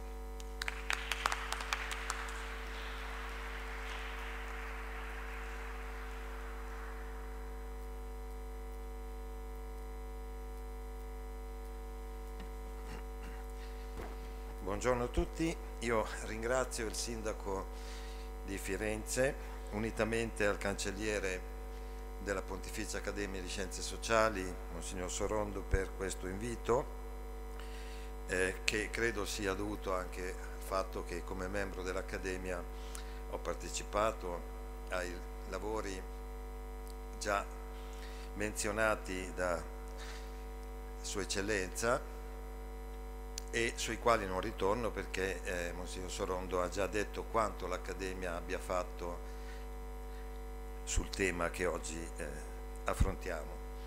Ho pensato di concentrare il mio intervento su l'aggiornamento del messaggio di Giorgio Lapira. Il significato di questo incontro è rilanciare quella che Lapira chiamava l'utopia concreta, cioè la, il fatto che il possibile, ciò che è possibile sia trasformato in una realtà. Il messaggio di Lapira era unire le città per unire le nazioni quindi un processo bottom-up che è un'idea di grande attualità ma deve essere elaborata in un contesto molto diverso da quello eh, di Lapira. Deve essere elaborato con un progetto che tenga conto del contesto dei processi di globalizzazione, che vuol dire più migrazioni, grandi processi migratori su scala planetaria, più connessioni fra aree un tempo isolate, la crescita delle diseguaglianze, insomma il rischio di uno sviluppo squilibrato. Nell'idea di Lapira che le città possono essere sorgente di una connessione mondiale significa appunto questo, eh, elaborare un progetto per evitare la crescita degli squilibri. E dunque l'idea di fondo trova oggi una eco nelle parole di Papa Francesco nella Laudato Si quando il Papa scrive che mentre l'ordine mondiale si mostra impotente ad assumere responsabilità, l'istanza locale può fare la differenza. È lì infatti che possono nascere una maggiore responsabilità un forte senso comunitario, una speciale capacità di cura e una creatività più generosa, un profondo amore per la propria terra, come pure il pensare a quello che si lascia ai figli e ai nipoti. L'idea cioè che la città significhi territorio, radicamento, radici e insieme però la necessità di aprirsi al globale. Ora, se negli anni 50 e 60 di La Pira la sfida era un possibile conflitto nucleare mondiale, che tra l'altro oggi si ripresenta, come sappiamo, per l'incubo della situazione nel sud-est asiatico, oggi però, soprattutto per il Mediterraneo, il, la grande sfida è lo sviluppo sostenibile ed equo all'interno delle nazioni e fra le varie nazioni, superando i divari eccessivi, i divari che esistono tra i vari contesti locali, fra le stesse città, fra le aree geopolitiche del Mediterraneo. L'Europa non può essere una fortezza chiusa, deve partecipare alla creazione di un Mediterraneo senza eccessivi squilibri fra le varie aree. Ed è qui dove l'idea di Lapira resta profetica. Quando lui appunto scriveva le città vogliono unirsi per, unirsi per unire le nazioni, per unire il mondo, vogliono creare un sistema di ponti, il loro collegamento organico attraverso l'intero pianeta. Ecco, il problema è come collegare le città ciò di cui stiamo parlando, come avere un nuovo scenario per il Mediterraneo. E l'idea appunto che io vorrei presentare qui è quella di un Mediterraneo come bene relazionale, come bene che è fatto delle relazioni che esistono fra le aree, fra le città del Mediterraneo. Nei colloqui mediterranei tenuti appunto dalla Pira, lui scrisse, l'idea di fondo è quella del villaggio, in cui le diversità e i valori umani si integrano in un microcosmo capace di favorire le relazioni. Quindi queste due idee, il Mediterraneo come villaggio e costruire relazioni, costruire relazioni fra i diversi, che facciano fiorire l'unità nella diversità. E come fare? Ecco, dal punto di vista sociologico, io parlo anche come sociologo, costruire queste relazioni, le chiamiamo ponti, ma sono relazioni e le relazioni implicano azioni reciproche, effetti emergenti e così via. Queste relazioni si chiamano capitale sociale. Il capitale sociale è fatto di fiducia, è fatto di cooperazione, è fatto di reciprocità. Bisogna fare reti, reti fra i popoli, fra le città del Mediterraneo, ma per fare questo occorre quella che Tocqueville chiamava l'arte dell'associazionismo. Non bastano i gemellaggi, non bastano gli scambi economici, tecnologici, commerciali. Occorre fare qualcosa di più. E quindi la grande sfida è avere attenzione al tessuto sociale del Mediterraneo e quando dico il tessuto sociale del Mediterraneo dico appunto le reti primarie e secondarie, quindi familiari, amicali, eh, di lavoro e associative, di volontariato, di organizzazioni di terzo settore. La sfida è quindi quella di concepire il Mediterraneo come una rete di reti di relazioni fra i popoli, con i loro stati, ma soprattutto con le loro società civili, fatte di comunità, piccole e grandi, di famiglie, di reti primarie e associative fra le persone. A me sembra cioè che l'idea originaria di Lapira richieda oggi una nuova architettura reticolare per la governance del Mediterraneo. In questa architettura reticolare le città sono i nodi, i nodi di una rete che costruisce collegamenti, connessioni, li chiamiamo ponti, ma questi ponti non sono come dire una costruzione fissa che sta lì, queste, questi ponti sono delle relazioni dinamiche, attive che vanno generate e rigenerate continuamente perché si possa transitare da, uno, da una cultura a un'altra cultura senza dover cambiare la propria identità, perché ovunque si vada c'è accoglienza, c'è simpatia, c'è fiducia, c'è co- cooperazione, c'è reciprocità.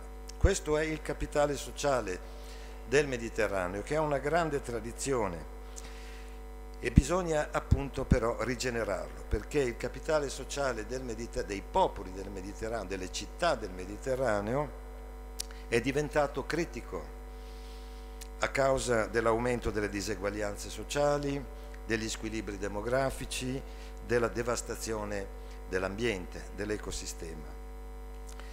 E invece questo capitale sociale che è proprio delle città, nel senso dei comuni, delle piccole aree, dei microcosmi relazionali, come li chiamava la Pira, questo capitale sociale è indispensabile per gestire i processi migratori per controllare i processi migratori nel senso di aiutare le persone sia nella partenza sia nell'arrivo, nell'accoglienza.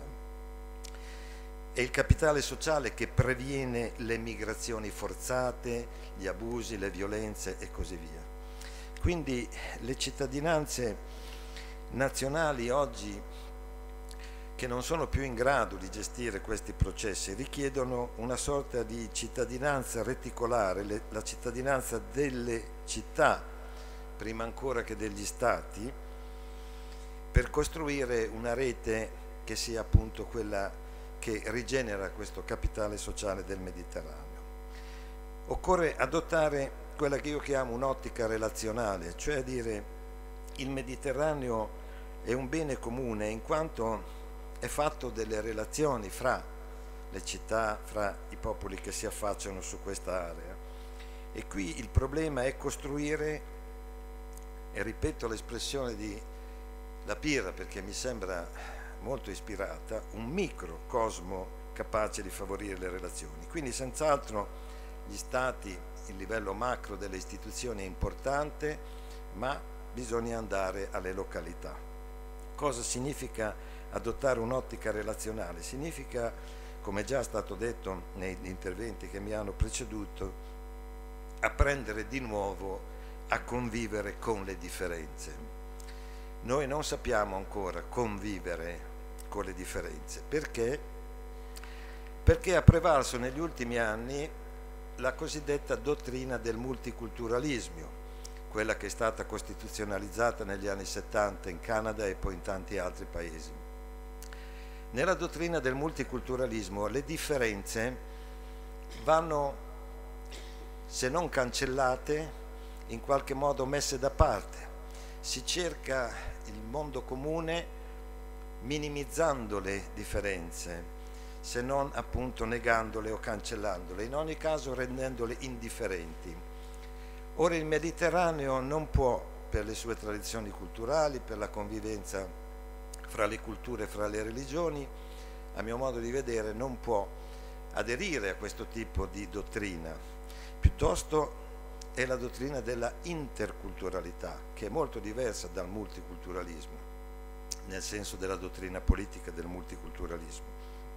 Le, le società sono multiculturali di fatto, ma c'è una certa, chiamiamola pure ideologia, che dice, beh, minimizziamo ignoriamo le differenze, no, invece le differenze vanno messe in rilievo, vanno valorizzate, e però si tratta appunto di rendere possibile la convivenza, la comprensione, l'accettazione, differentemente appunto da una certa moda culturale che ha reso indifferenti, tende a rendere indifferenti le identità, la qualcosa produce relativismo culturale e segmentazione della società, frammentazione della società, mentre l'idea della interculturalità è la costruzione di ciò che sta fra le culture, cioè le relazioni fra, fra le culture, fra le religioni, fra i popoli, è quel fra che va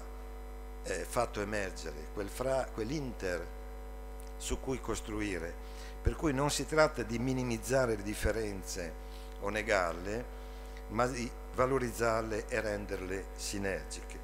Questo significa lavorare per il bene delle relazioni, le relazioni fra le città, fra i paesi come bene in se stesso, da cui dipendono i beni collettivi, la pace collettiva. Dunque una nuova cultura delle relazioni che richiede appunto una capacità riflessiva molto, molto approfondita. Le differenze sono dei fatti, delle realtà che esistono, non sono delle norme universali e astratte, quindi vanno trattate come fatti. E Papa Francesco nella un'omelia appunto titolata Unità nella differenza ci diceva appunto che occorre rinnovare lo spirito per capire come sia lo stesso spirito che crea la diversità e l'unità. È lo spirito, diceva, che con fantasia e imprevedibilità crea la diversità. Poi lo stesso spirito realizza l'unità, collega, raduna, ricompone l'armonia, così che ci sia l'unità vera, che non è uniformità, ma unità nella differenza. Ecco, cercare il bene delle relazioni fra le città, al di là di quelli che sono le utilità negli scambi tecnologici, economici, eccetera. E quindi il Mediterraneo come bene relazionale. Papa Francesco, sempre per citare la Laudato Si, ha scritto se la crisi ecologica è un emergere o una manifestazione esterna della crisi etica, culturale e spirituale della modernità, non possiamo illuderci di risanare la nostra relazione con la natura e l'ambiente senza risanare tutte le relazioni umane fondamentali. Ecco quindi che bisogna pensare a una nuova logica, l'unità come molteplicità e questa è la logica delle reti. Eh, le civiltà non necessariamente si scontrano, come dice Huntington, le vere civiltà, quando sono civiltà, si fecondano, si armonizzano a vicenda. Mm? Ma oggi ci troviamo certamente in una situazione non lontana da quella della metà del Seicento, al tempo delle guerre di religioni, quando appunto si trattava di cercare una soluzione di pace. Allora ne fu trovata una che oggi non vale più, eh, ma vale la logica che Leibniz, il filosofo Leibniz allora propose, quando parlò di una certa nuova logica, secondo la quale l'unità diventa pensabile come molteplicità, in modo tale che le manifestazioni di individuali di un principio siano coordinate senza allo stesso tempo essere sciolte in una generalità più elevata. Quindi Leibniz cercò l'armonia appunto non attraverso l'omogeneizzazione, non si tratta di omogeneizzare le culture e il Mediterraneo, ma mediante un intreccio costruttivo di diversità e anche di contraddizioni. E questa è oggi la logica della rete. È lì dove io credo il pensiero stesso di Lapira può essere aggiornato. Dunque una logica come diciamo noi sociologi, della policontestualità, la pluralità di contesti diversi connessi da una governance societaria che non imponga di rinunciare alla specificità di ogni località, di ogni cultura, di ogni religione. L'incontro delle culture è possibile, ha affermato il cardinale Ratzinger, perché l'uomo nonostante tutti i divergenti cammini della sua storia e i suoi sistemi sociali, rimane un unico ed identico essere. Dobbiamo riferirci a questa comune umanità e però appunto per essere se stesso, dice lo stesso Ratzinger, l'uomo ha bisogno dell'altro, ciascuno ha bisogno dell'altro. L'uomo si avvicina all'unità e alla, alla totalità del suo essere solo nella reciprocità di tutte le grandi realizzazioni culturali. O per dirla con Papa Francesco nella Laudato Si, tutto è relazione e tutti noi esseri umani siamo uniti come fratelli e sorelle in un meraviglioso pellegrinaggio. Da questo punto di vista quindi credo che occorra aggiornare il messaggio, la profezia di La Pira in questa logica che ho appena detto di cercare appunto l'unità del molteplice in una nuova logica che è la logica delle reti. Grazie dell'attenzione.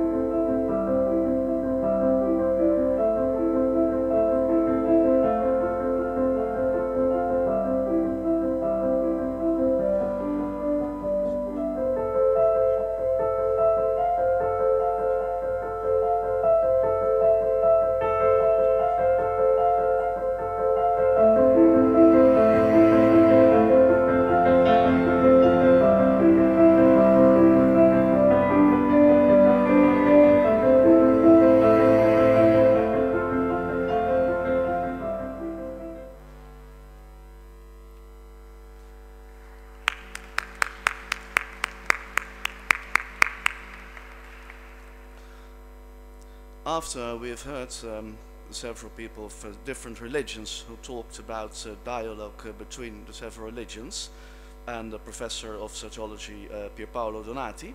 Now in, new, in this new session uh, we'll talk about the youth and a dialogue. This is very important. Here you see several students of the University of Florence and they had a very interesting initiative about a dialogue uh, between religions. And the, first, the first who will talk about this is uh, Professor Silvia Guetta. She's a professor of the Department of Education and Psychology of the University of Florence in Italy. And after she has talked, she will um, um, invite some of her students who talk about the project as well. So now um, up to Silvia Guetta, the professor of the University of Florence.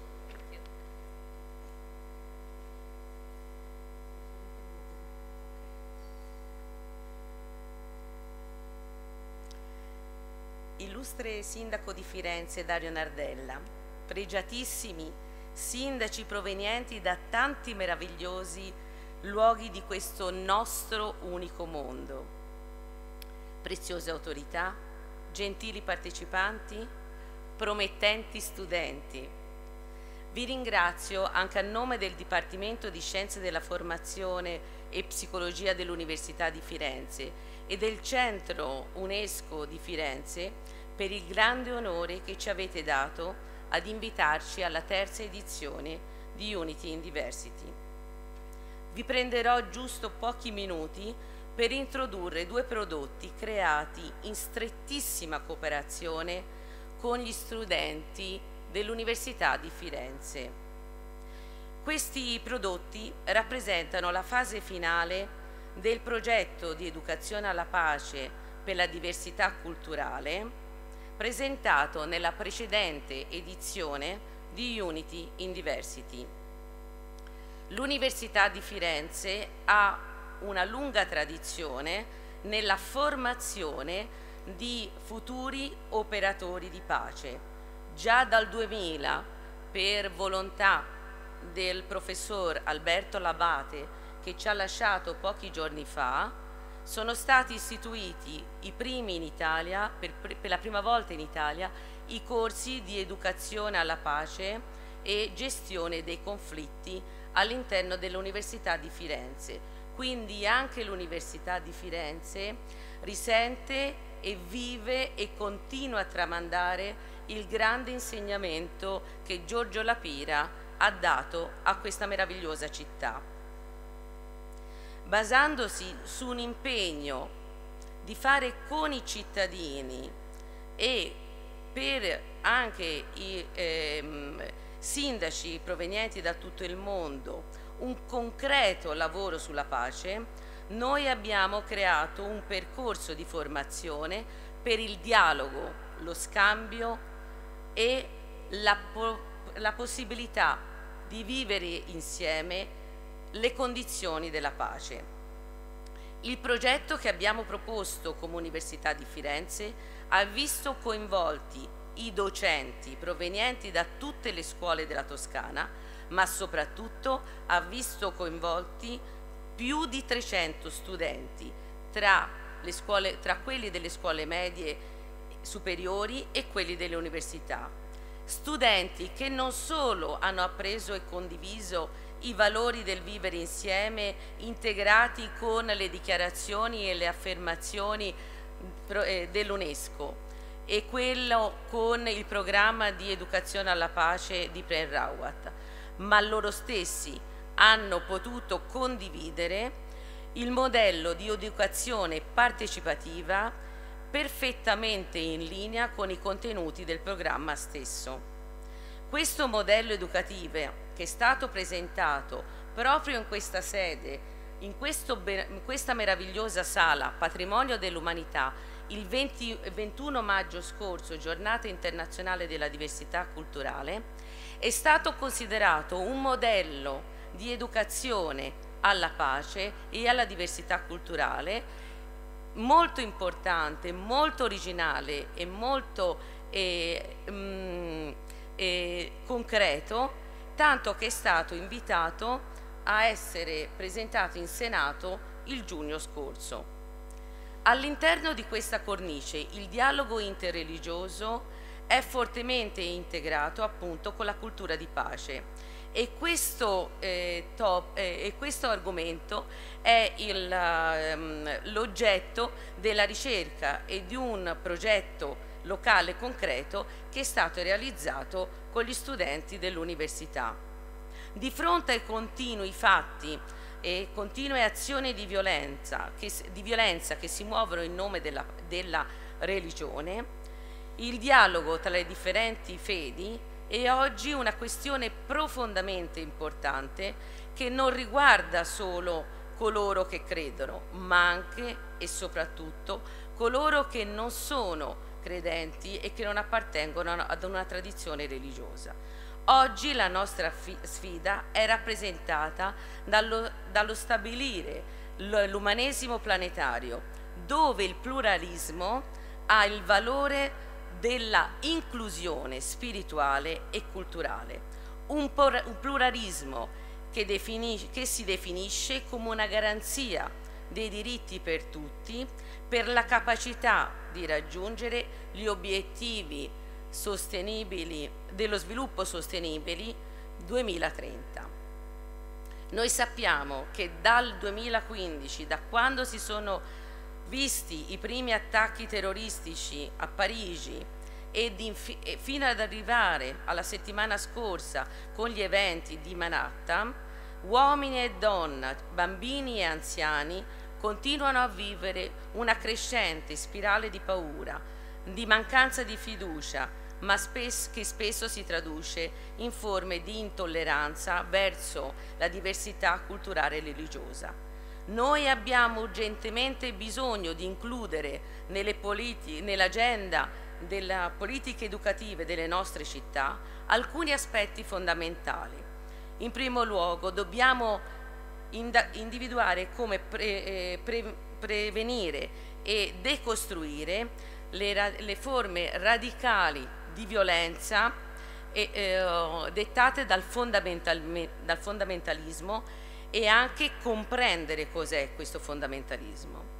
Dobbiamo sottolineare e sostenere il ruolo delle religioni nella promozione della solidarietà e del rispetto della dignità umana, ma dobbiamo anche fare attenzione a sviluppare il pensiero critico che è capace di articolare la complessità nelle nostre società e di opporsi fortemente alle, ai modelli semplicistici di spiegazione della realtà. Noi dobbiamo essere fortemente consapevoli che, questa, la, che è una priorità educare nelle nostre società a riconoscere i diversi sistemi culturali e religiosi che vengono vissuti dalle persone se noi vogliamo incoraggiare il reciproco rispetto. Ma noi dobbiamo anche comprendere che tutte le, le tradizioni religiose devono partire dal rispetto dei diritti umani per promuovere la pace. Partendo da questi punti, rispettando l'uguaglianza tra uomini e donne, tra adulti e bambini, tra giovani e anziani, noi possiamo capire che anche le religioni e soprattutto le religioni sono indispensabili e insostituibili per creare un mondo migliore e sostenibile.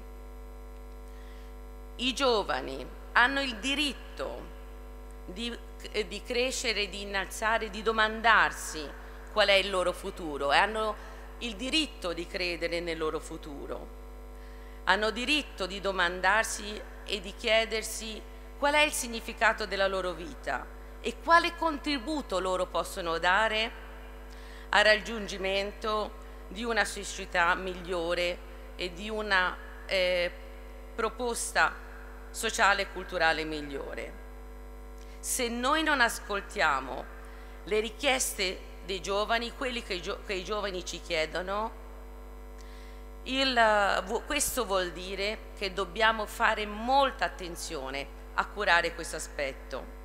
Ma gli adulti hanno anche il compito di dare ai giovani gli strumenti per comprendere che il significato della vita non è rintracciabile in qualche cosa che trovano online, oppure nel web, oppure nel mondo virtuale. No, il significato vi della vita è dentro i nostri cuori e dentro le nostre menti e solo interrogando le nostre menti e i nostri cuori noi possiamo rispondere con umiltà e con compassione. A questo punto diamo la parola agli studenti, perché sono gli studenti che, hanno, che ci hanno portato fino a qua e continuano a portarci con il loro impegno quotidiano a cambiare la vita.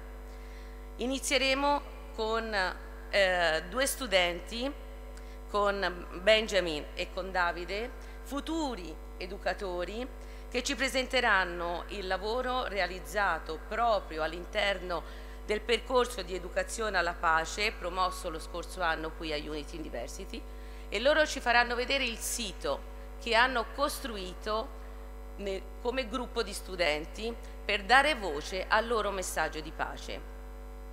Poi parlerà Francesco, un altro studente che anche lui diventerà un futuro educatore e ci mostrerà il lavoro che stiamo costruendo per creare un'app per il dialogo interreligioso. A loro do la parola, vi ringrazio per l'attenzione e nella speranza che i giovani ci accompagnino nel nostro cammino di costruire un, un mondo migliore, auguro a tutti buon lavoro. Grazie.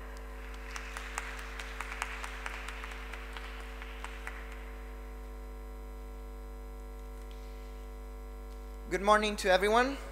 Uh, my name is Benjamin Robson Di Lullo. and I'm studying uh, social education at the University of Florence.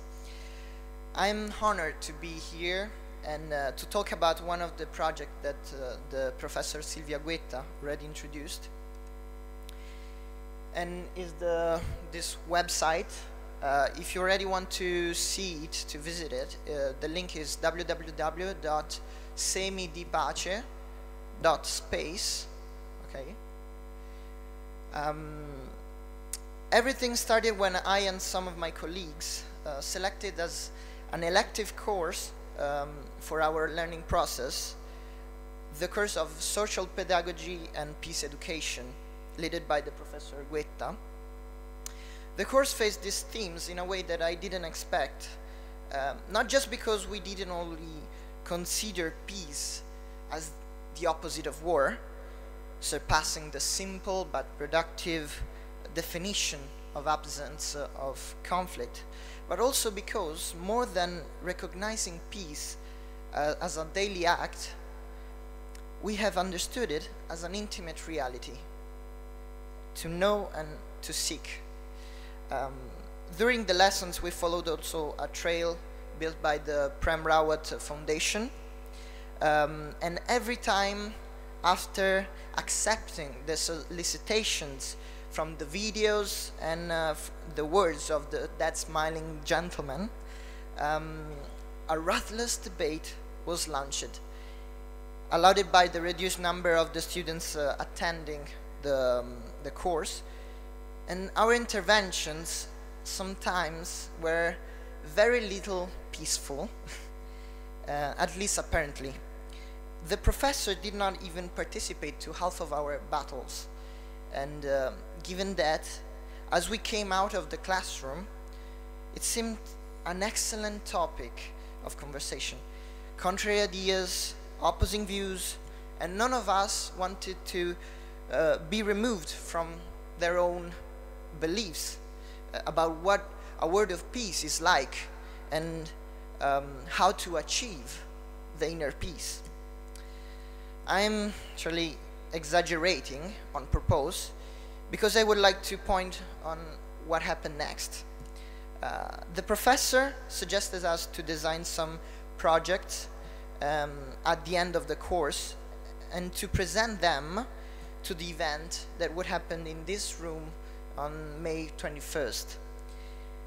At that moment, we did not hesitate a second to band together and we decided to design a single project which we would then present as the course of social pedagogy and peace education. I think that there we had the first concrete taste of peace and unity in diversity. As you all know, uh, often when we do teamwork, despite the initial hope, the work is not divided between the members of the team, but is multiplied. and this happened also because we, we came, when we came to the idea of the website, we didn't even know, uh, we didn't even consider that none of us had ever done such a thing. We all found the idea of the site, the website, very intriguing. And we wanted to build a platform that, uh, on one hand, could represent us as students by sharing the points of views, our challenges, our interests, and on the other side, could sustain who might haven't found yet someone to band together to seek around himself and within himself um, this peace that we are talking about. So designing the website, we were constantly thinking to the millions of people that would visit our, our website. and um, we had been solicited to think and we wanted to solicitate others. We wanted to be informed and uh, we hoped that others one day could be informed through us. We wanted to saw and we hoped that someone could pick it up. So that's how this website was born. Thank you.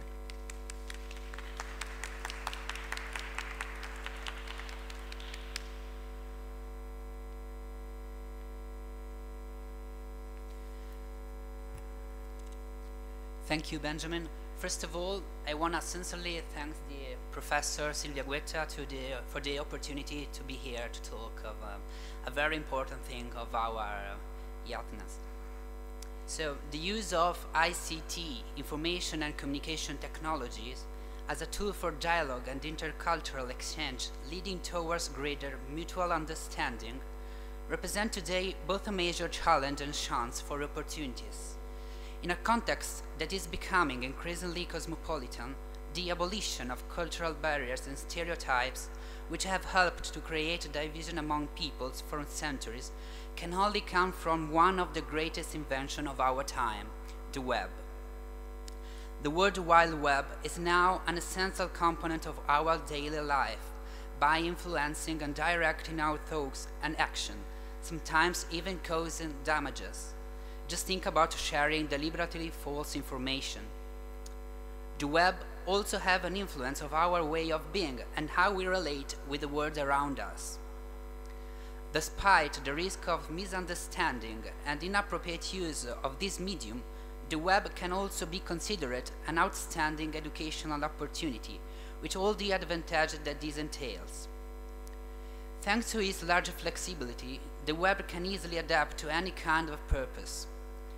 As a pedagogically oriented tool, the web has a great potential in combining and sharing information, building practice, and starting initiatives which propels personal proactive behaviors, and has a great deal in the realization of a more inclusive, open, and flexible society, and adapted to the needs of the many realities that compose it. Talking today about the ECT is therefore crucial in the topic of intercultural dialogue. This being said, we present today the result of a survey that has involved many students of, from two academic study areas. The course in Educational Science led by the Department of Educational Science and Psychology and the course in Professional Education led by the Department of Neuroscience, Medicine Area and Child Health. This last one was offered when in the conflict management course head by Professor Silvia Guetta at the World Day of United Nations of Cultural Diversity for Dialogue and Development of May 21, 2017, with the specific theme, the value of a cultural diversity as a fundamental heritage for human development towards a peace culture among citizens. The outcome of survey was the web page called Seed of Peace, that you can see beside to me, which had the purpose of collecting and distributing documents related to the peace culture identified in the work by students uh, of Machiavelli Capponi High School and students of the University of Florence.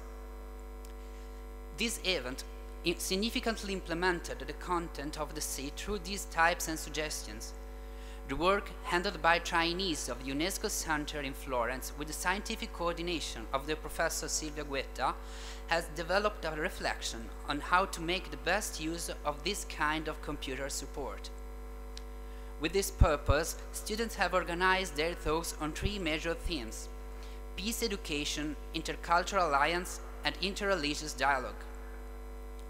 Through these macro areas, we have been trying to develop a path that could be starting points for various realities operating in Italian territory. In order to stimulate practice and activities that can encourage the spread of peace culture and democracies, the path was divided into these thematic areas of easy access and consultation, from the school on every order and degree to the association of volunteer services. Through this tool, we wish to keep all resources available in this field on a single platform and not to disperse them in the wild world of media information. The platform would collect on one side life experience and episode of democratic interculturalism, and on the other side specific material prepared and filtered specifically for being widely accessible to young people and to all those who care about the development of democratically sustainable society.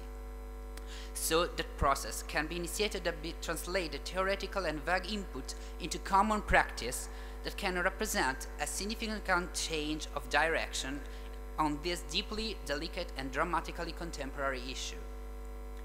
The road, of course, is still long, and we are aware of the fact that many obstacles may rise up. But we are also convinced that even the longest journey begins with the first step. It's up to us all to take the first step. It's with this spirit that we continue to think about our tasks and responsibilities in this complex dynamic system that is the society in which we live, and about how we can contribute to create a new world of peace. Thank you.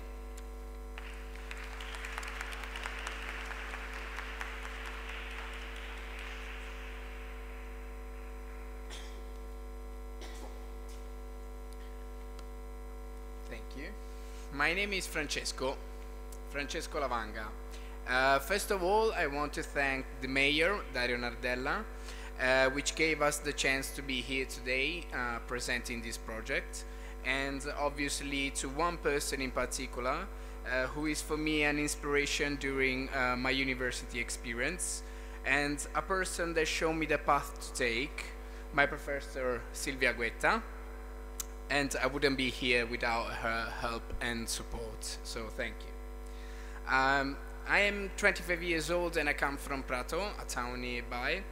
Um, I'm currently enrolled at the University of Florence um, and I'm been studying education sciences since 2015. Um, I know that it's a bit late to be studying at this age for the first degree, uh, but right after school, I wanted to discover the world on my own. Um, I wanted to meet new cultures. Uh, I wanted to open my mind. I wanted to find myself. And somehow I did. I realized that the only thing that makes me truly happy is helping people. The Florentine City Council has always been working on important social matters uh, through different projects and activities. For instance, on the Florence City Council website, there are apps like the Florence, the Walking City, Florence Around Me, but we want to add a subject that despite its importance has not been faced yet, interreligious dialogue. Interreligious dialogue needs a different approach compared to the past. Uh, it is a subject that involves everybody, not only confessional religions, but also non-confessional organizations. It is from this goal that borns this project, Real World. Uh, why Real World? So basically, uh, the meaning of this word takes uh, these steps. So R stands for religion. And we choose religion because religion is not religion. Religion comes from the Latin, and in, the in its true meaning, it's spirituality, bonding together. So that's why we chose this word. And then E stands for enriches life, and then it goes on. But I want to focus on religion, that's really important because it embraces not only religions but everybody. Um, we have three main focuses because our aim is just the culture of peace. As simple as that. So our three main focuses are education, interreligious dialogue, and interreligious tourism. We propose this project because we believe that it is a prevent strategy uh, promoting citizenship and the common values of freedom, tolerance, and non-discrimination through education. This purpose goes along with the aims of worldwide human rights and with the daily work of our partners in this project, like UNESCO, uh, Piacenti SPA, which is now working on uh, Natives Church restoring in Bethlehem. And our goal is to develop uh, an app which contains an interactive map where where would be highlighted all the location of all the religions and non-confessional organizations in Florence. So the app with, uh, along the website will contain information about the history and the heritage information about the point person of each place, as well as the public services that support these communities. This project will act as a proper landmark uh, for all religions and non-confessional organizations that want to be represented in the city of Florence. This is a revolutionary tool that takes action where nobody has been exploring previously. The website will be uploaded with work such as videos, photos, interviews, and encounter events that would involve schools, organizations, and individuals that work toward peace through interreligious dialogue. It will be a crucial landmark for community encounters. A pillar of this project is indeed education. We have realized that students need to review their approach to interreligious dialogue. Um, professors would also gain enormous advantages from this tool. They would have a tool that helps them to find new ways of teaching uh, through technology that nowadays in schools is a great way to hold the attention of millennials. At the same time, students would have many opportunities.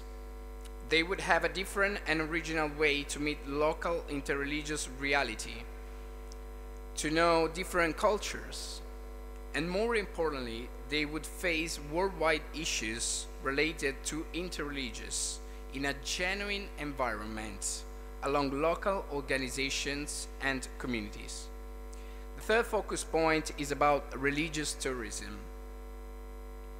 Within this project, religious tourism acquires a crucial role.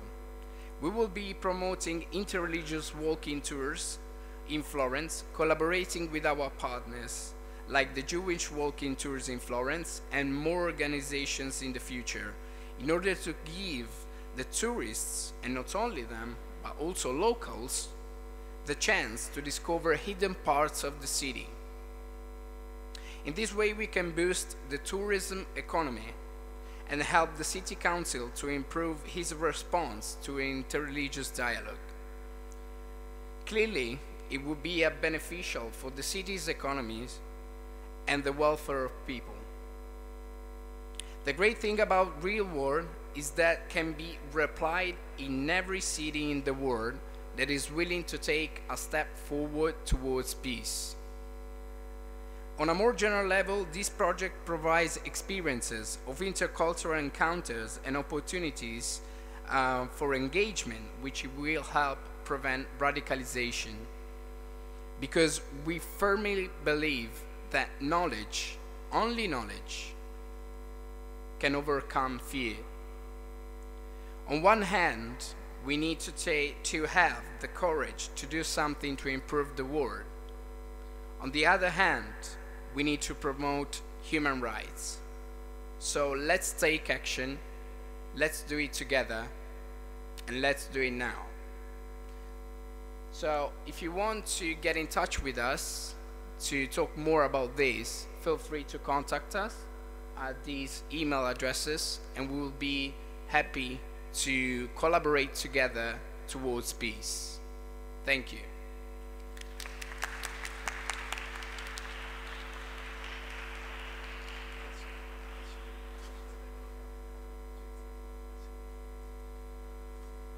After we heard this very interesting contribution uh, and this initiative about the Italian students of the Florence, uh, of the University of Florence, uh, now we'll hear foreign students. They are here. Now you can come. Thank you. They're foreign students of the New York University of Florence, and they will talk as well about the intercultural dialogue and the development of character and tolerance. Uh, their names are Elish Anderson, Quisli Fu, Ward Heazi, Vairan Liu, Nikola Nenkov, and Ryoyong Tao. Your name is? Eilish. Okay, Thank up you. to you. Hello, um, my name is Eilish Anderson. I'm from Seattle, Washington, and I'm a junior at New York University studying politics and Italian. No man is an island entire of itself. Every man is a piece of the continent, a part of the main. The multi layered intercultural exchange that takes place in the Mediterranean is seen mirrored in the cross cultural experiences of individuals all over the world. Even here on this stage, the six of us are from all over the world, and we're here to share vastly different experiences. Still, regardless of our backgrounds, our stories, whether conceptual or emotional, are tied together exactly by this conference's notion of unity in diversity. Just as no man is an island, no culture can remain isolated in today's world, all of us in this room who come from different continents represent the complexity of this world. We come from different cultures, but we are working towards the same goal fostering dialogue, nurturing tolerance, and building a future of peace.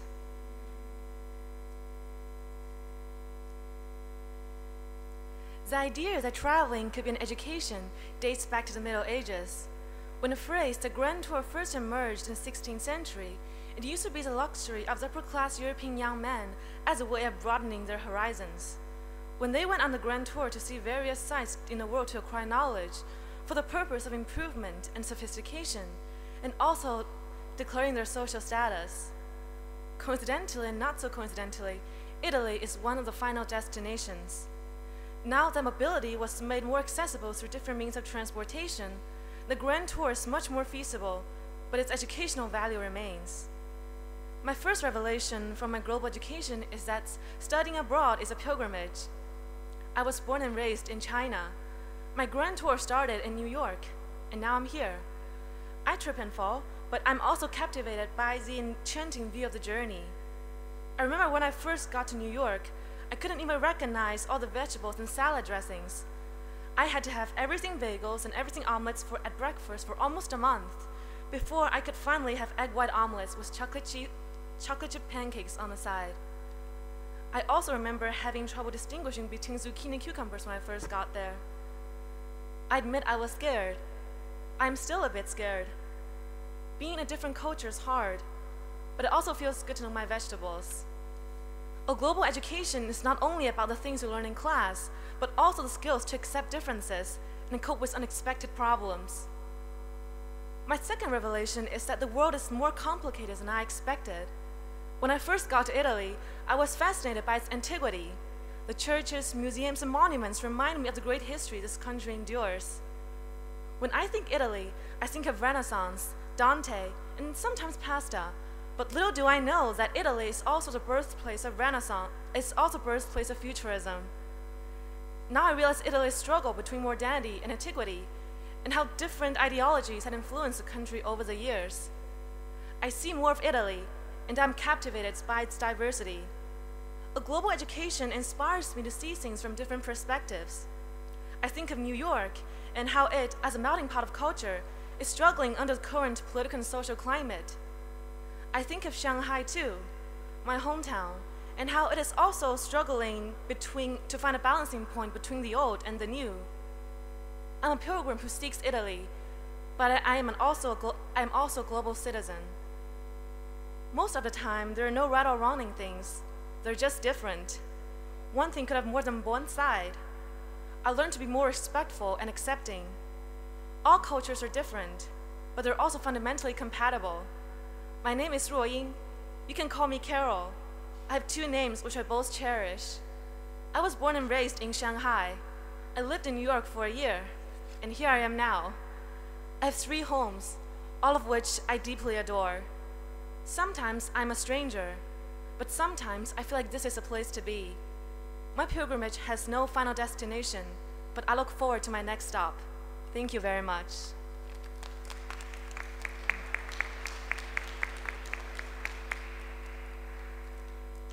Thank you so much for having me here. It is a great pleasure. My name is Lu Feiran, and I'm a third year student in NYU Florence, double majoring in global liberal studies and art history. I was born in Jiaozuo, a small city in northern China, and then moved to Hangzhou, a big major city in southeast China, when I was 14. I started college in NYU Florence two years ago, and it was my first time studying in a different country with people from different countries. The change of living environments from nor northern China to southern China and from China to abroad gave me the opportunity to change my perspectives on cultures and to compare cultures of different countries and regions. Now it is my third year studying abroad. The more time I spend living in another country and learning about other cultures, the more I actually learn about my own culture, especially about the parts that I have always taken for granted growing up in China. Let me tell you a little story. During freshman year, when I was in my dorm one day and my roommate started to have a severe cramp, she was in a lot of pain.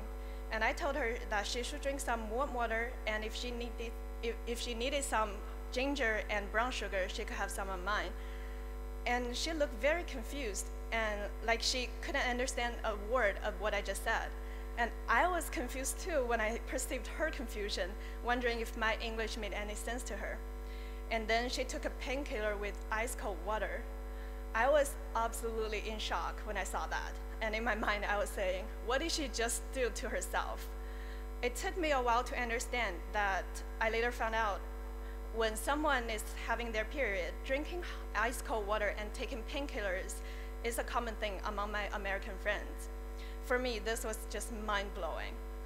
Growing up in China, it is a common sense that during period, we should drink warm water and keep warm, especially around our stomach area, to avoid cramps and stay healthy. And if we have cramps, brown sugar and ginger will help us to expel the coldness out of our bodies and to keep the balance of yin and yang. Uh, I explained this to my American friends, but they all look at me very skeptically, and I was in shock again. First, because what I know as common sense was new to them, and they had never heard of that. And second, what I take as common sense as true for my whole life was challenged by their skepticism. This small incident really brings me to a realization of how different Western and Eastern cultures are. The yin and yang concept has always been in Chinese culture and is so deeply rooted in, our, in my culture. And it is very natural to me, and I think that's how the world should be. But I didn't realize that to other parts of the world, this concept might not even exist. My roommates and my confusion and shock toward each other's actions were from our lack of understanding of our cultures and perspectives. I was judging her action based on my cultural norms, and I imposed my perspective on hers. Even an everyday incidents like having cramps can cause confusion and misunderstanding between people from different cultures. Then not to mention about bigger topics as politics or ideologies. I, it wasn't until that incident that I truly realized that understanding and accepting different cultures require us to consider culture statements or views in their own contexts instead of merely based on our own cultural norms. It is not easy, and there will be shocks, but it's very crucial to, for encouraging tolerance toward other cultures. Thank you very much.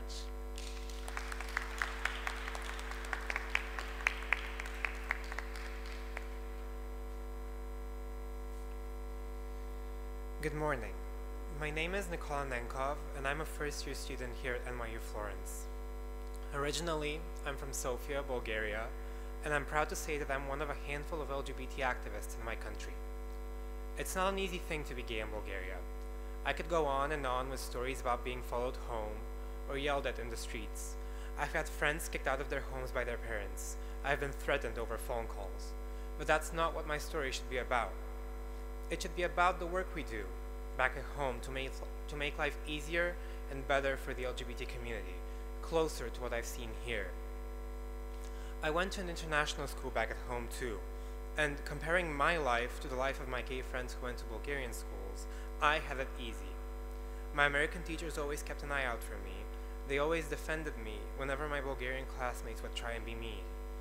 Even though it was an international school, Bulgaria is not an easy place to come out as an LGBT teen. I remember one of my American teachers telling me when I was 13 or 14 that things would get better eventually. His advice gave me the strength to start advocating for LGBT rights in my school. I finally founded the first student-led community in my country. It took me a couple of years. I had to fight with both administration and teachers, yes, but it did happen.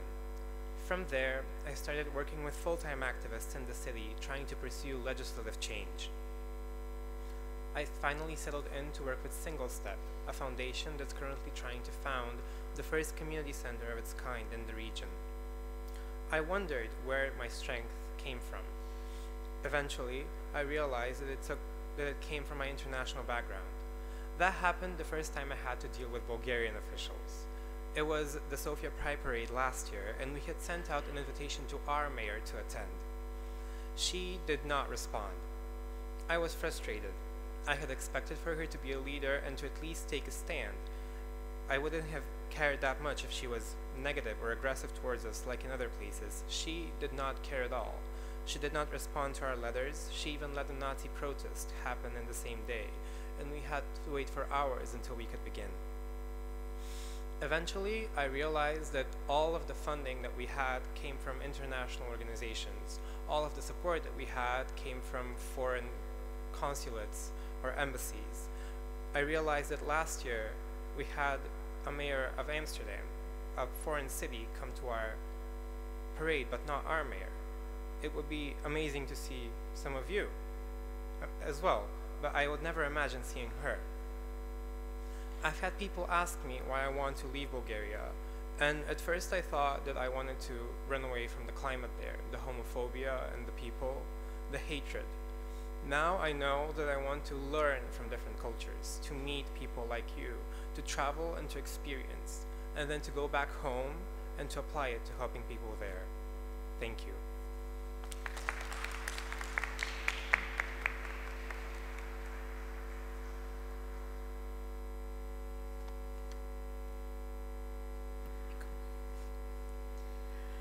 Buongiorno.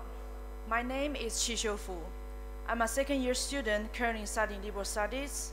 I was born and raised in Chengdu, China, and then I moved to Chiang Mai, Thailand for the last two years of my high school.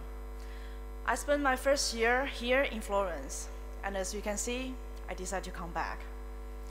It is such a great pleasure for me to stand here and give this short speech.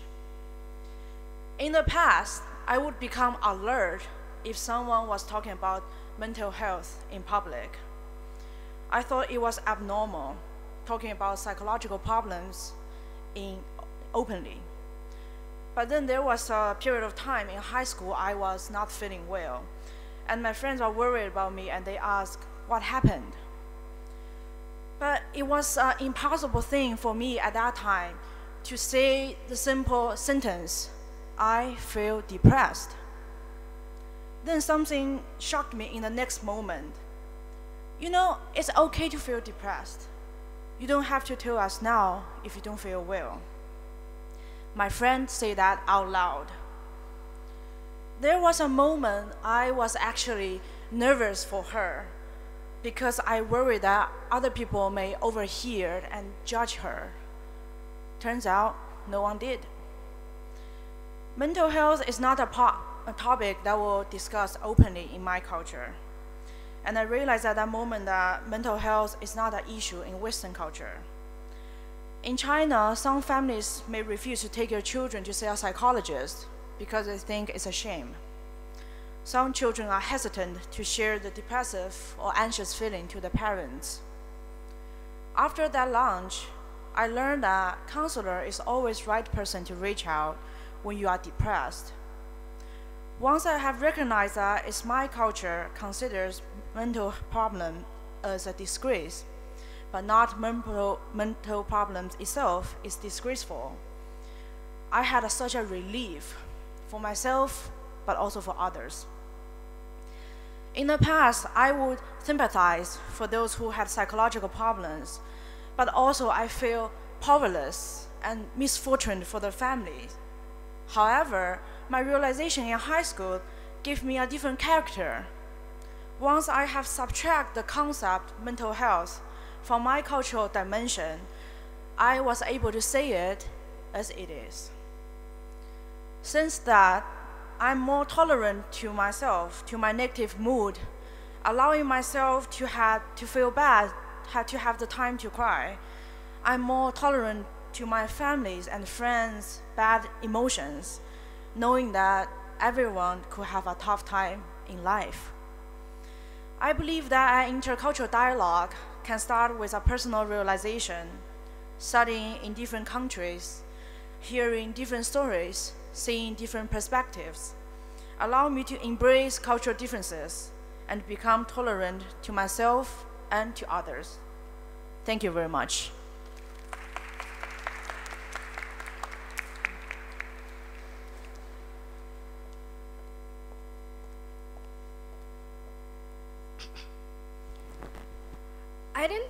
Identified with being Arab.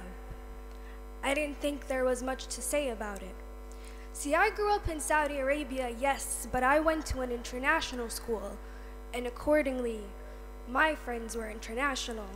I begged Alicia to fulfill my Indonesian cravings and danced to Gambian beats with Fatumata as she attempted to teach me how to dance. Now, here I am spending my freshman year of New York University in Florence. My Florence, however, is way more than Italian. It's more than penne arrabbiata, it's also Indian, Chinese, and Greek food. My Florence is everyday conversations that could on their own inscribe textbooks and lectures over lectures on history and culture. I'm learning more about Mexican politics from my friend Paula over dinner than from a whole semester of comparative government. When someone sneezes, it's almost an instinct within me to say, Yarhamukallah, may Allah bless you. One can imagine my surprise when my friend Nicola tells me that Bulgarians say krasavica. They jokingly say cucumber in order to try and stop someone from sneezing. Certain nights pass by and everyone on campus is awake. Through our midnight conversations outside in the cold, I was learning more about my Palestine, its beauty, and its crowded markets from the stories of someone else's Jerusalem. When I heard my friend was visiting Lebanon, I found myself thrilled and exhilarated. I wanted her to see beyond the city life of Beirut. I wanted her to go to the monumental ruins of Baalbek, to visit Tripoli or Trablus by the hills. I also wanted her to bring me back za'atar, a traditional Arab spice eaten with olive oil and bread to share with everyone. Whenever someone asks me how to say a word in Arabic, I find myself smiling with pride as I explain that Arabic is an ocean of languages. Every country has its own dialect, and every dialect is different. A simple phrase like how are you is labas in Moroccan, kifik in Lebanon, and izayik in Egyptian.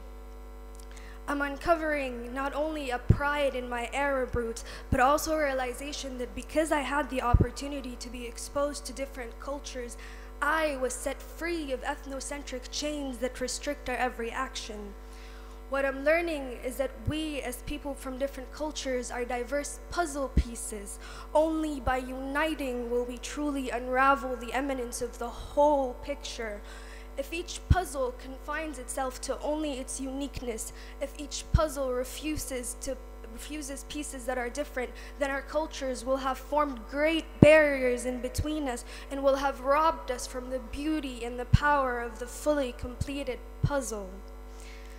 I am Arab, yes, but I am also a piece of the puzzle, ready to learn more about Bulgarian, Italian, and Mexican culture, ready to unite to find out what the bigger picture truly beholds. My name is Wert Hijazi. It means a rose and a lion in Arabic. Thank you for having me.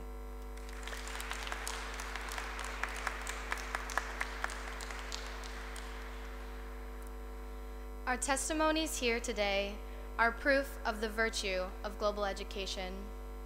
Supplying scholarships, backing youth initiatives, and providing study abroad opportunities are all concrete ways in which you, as mayors, can use your influence to develop the intercultural competence that is a foundation of tolerance.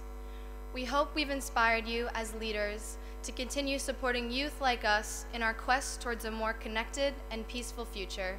Thank you.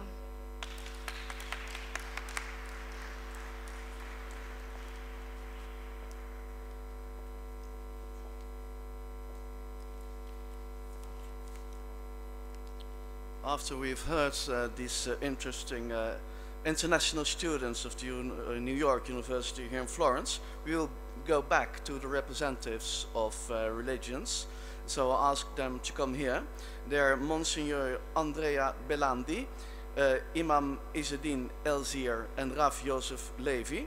Um, they started right here in November 2015 during the first uh, session, the first edition of Unity University, uh, an interesting project that's called the School for Intercultural and Interreligious Dialogue. So, welcome to the three uh, representatives of the religions, Monsieur Andrea Belandi, Imam Izzedine Elzir, and Rav Joseph Levy. And if I'm not wrong, it is Rav um, Joseph Levy. he will speak now. Okay, thank you very much.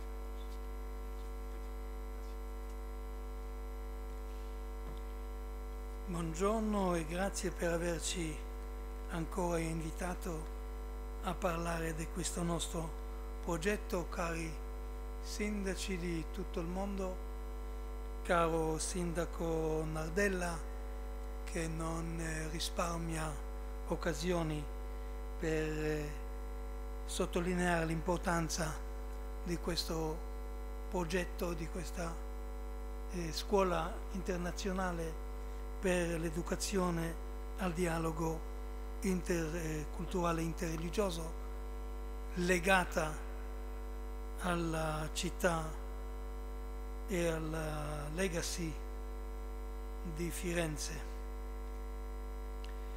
I programmi saranno pronti fra poche settimane e noi speriamo di rimanere in rapporto con voi e tramite quindi la segreteria di mandarvi i dettagli del semestre che si aprirà all'inizio del 2018, anzi a settembre del 2018.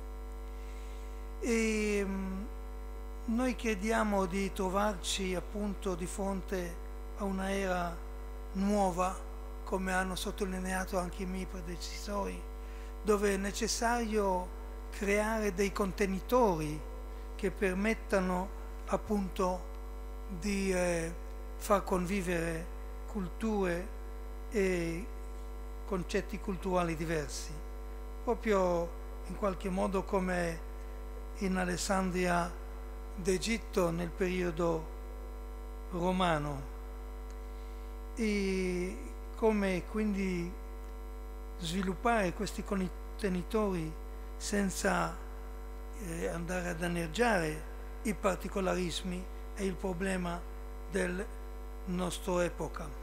Siamo convinti che la divinità vive e ci sta al di là dei particolari, dei particolarismi e il nostro rispetto per la divinità quindi dipende dalla nostra capacità di includere e di contenere i particolarismi.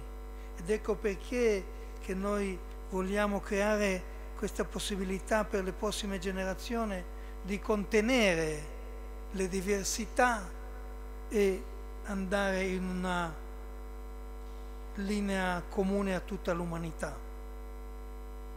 Si è già fatto il modello e il nome di Abramo, ma noi possiamo anche parlare di profeti moderni in questo senso che si sono occupati della possibilità di creare una cultura che contiene i particolarismi. Voglio fare qui alcuni nomi,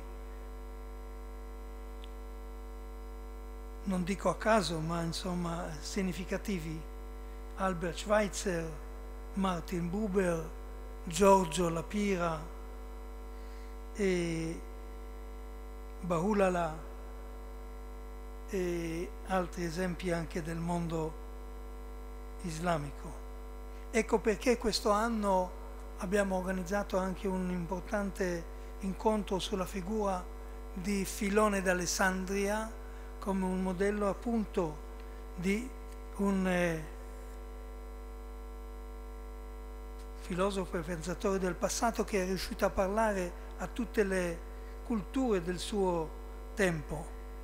Io spero che fra oggi e domani e se no poi per la posta e vi manderemo anche appunto i volumi che assieme all'editore Guaraldi abbiamo, siamo riusciti a pubblicare e sulla vita di Mosè di Filone d'Alessandria, questa volta in tre lingue, in eh, greco, italiano ed ebraico, ma abbiamo già l'intenzione, spero forse per l'incontro del prossimo anno, essere pronti, di eh, pubblicare un'altra opera importante di Filone che si intitola De Abramo, appunto quindi scritta nel primo secolo in greco per presentare alle nazioni dell'epoca la figura di Abramo. Noi speriamo di poterla avere pronta per il prossimo incontro, tradotta non solo in italiano o in ebraico, ma anche in inglese e con mia grande speranza anche in arabo. Quindi eh, senza fare promesse eh, che non sono sicuro di poter realizzare, però vorrei sperare che al prossimo anno potremo vederci con eh, questo eh, scritto di un pensatore antico che ha cercato di contenere le culture del suo tempo scrivendo in greco su Abramo la figura biblica. Mm. È, una, è, un esempio ovviamente, come Buber, La Pira e altri, no? per eh, offrire alle, alla gioventù e ai giovani anche una profondità e spessore culturale per dire che il problema è affrontabile e ha una sua storia, ha una sua possibilità quindi di essere elaborato e servire come modello per il futuro. Ecco perché vogliamo offrire un insegnamento che si eh, approfondisce sulle tradizioni culturali religiose diverse e soprattutto sul commento, sulla ermeneutica della religione. Ogni religione vive di un testo sacro e della sua ermeneutica, della sua interpretazione e abbiamo a volte anche problemi comuni fra le nostre tre religioni abrahamitiche che possano quindi assomigliare, possano aiutare l'uno l'altra. Ma l'importante appunto è di dare ai vostri operatori nel campo del dialogo interreligioso e interculturale, la capacità di capire da dentro problemi, i problemi ermeneutici che ci sono e portarli quindi al dialogo interculturale nelle vostre città. In questo senso volevamo anche proporvi una domanda aperta alla quale spero potremo avere anche delle risposte e suggerimenti. È meglio avere un corso di un mese per gli operatori appunto per la pace o è meglio avere un corso a Firenze, intendo, di una settimana, magari due settimane in continuità, uno, una a novembre e una a luglio? Vorremmo mantenere in contatto con voi per imparare da voi, secondo i vostri eh, interessi e le vostre possibilità, come organizzare questi corsi di preparazione al dialogo interculturale interreligioso, eh, per poter quindi aiutarvi a sviluppare degli eh, operatori che possano elaborare e approfondire le loro potenzialità particolari per eh, vedere appunto nella diversità non eh, una contrarietà e una inimicizia, ma invece una potenzialità di eh, creare insieme dei contenitori che possano quindi rispettare e offrire ascolto a tutti i protocolarismi, ma lavorare insieme per eh, crearsi il futuro, futuro che si concentra sulla potenzialità dell'uomo, tutti gli uomini, tutte le donne, ebrei e arabi, cristiani, romani e greci, come abbiamo visto già, figli dell'Asia o dell'Africa, dell'Europa o dell'America. E io vi ringrazio invito Monsignor Belandi ad aggiungere qualcosa sul programma.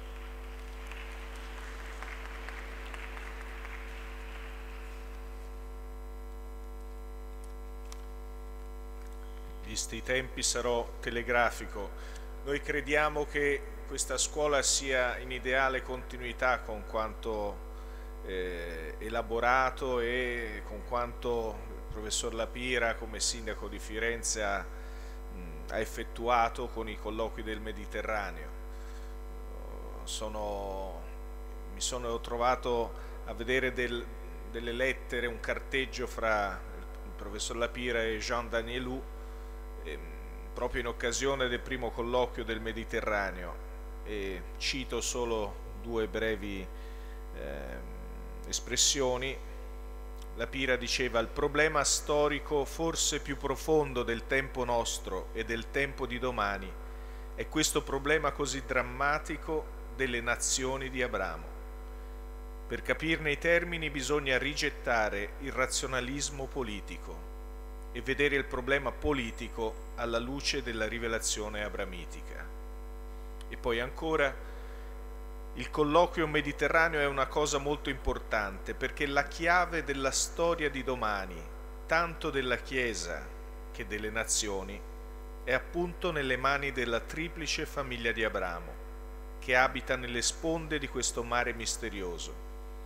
La geografia della grazia condiziona la storia dei popoli. Ecco, per questo ci siamo un po' sentiti in dovere con eh, il rabbino, con l'imam, di proporre una scuola di educazione al dialogo interreligioso e interculturale. Interculturale, come sottolineava prima il professor Donati, non multiculturale. Ognuno di noi è contento della tradizione in cui vive, ma non per questo non sa guardare, apprezzare stimare la tradizione dell'altro e credo che possiamo offrire un servizio che possa essere utile per vostre, eh, i vostri amministratori, per gli, eh, i docenti, gli insegnanti, tutti coloro che vogliono aprire il loro orizzonte a uno sguardo che sia più comprensivo di, di questo importante fattore per la storia e per la civiltà che è il fattore religioso. Grazie.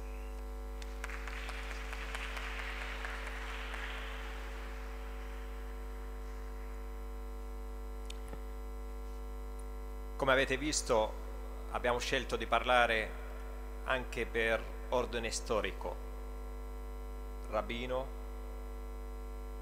mondo cristiano, Islam.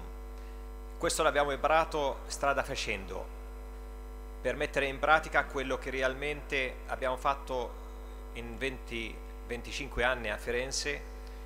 Per questo abbiamo pensato anche con il nostro sindaco a questa scuola fiorentina del dialogo interreligioso interculturale. E come parlava e diceva la Pira di mettere in pratica eh, questa scuola ha degli obiettivi di capire il linguaggio anche dell'altro non solo l'altro mm, o la fede dell'altro ma anche il linguaggio i pregiudizi che ci sono i luoghi comuni l'uno verso l'altro per creare una conoscenza dell'altro profonda che permette a ognuno di noi di avere rispetto. E non è casualmente la prima parola nel Corano, Iqra, leggi, conosci, perché con la conoscenza possiamo andare oltre i nostri limiti umani. Grazie a voi.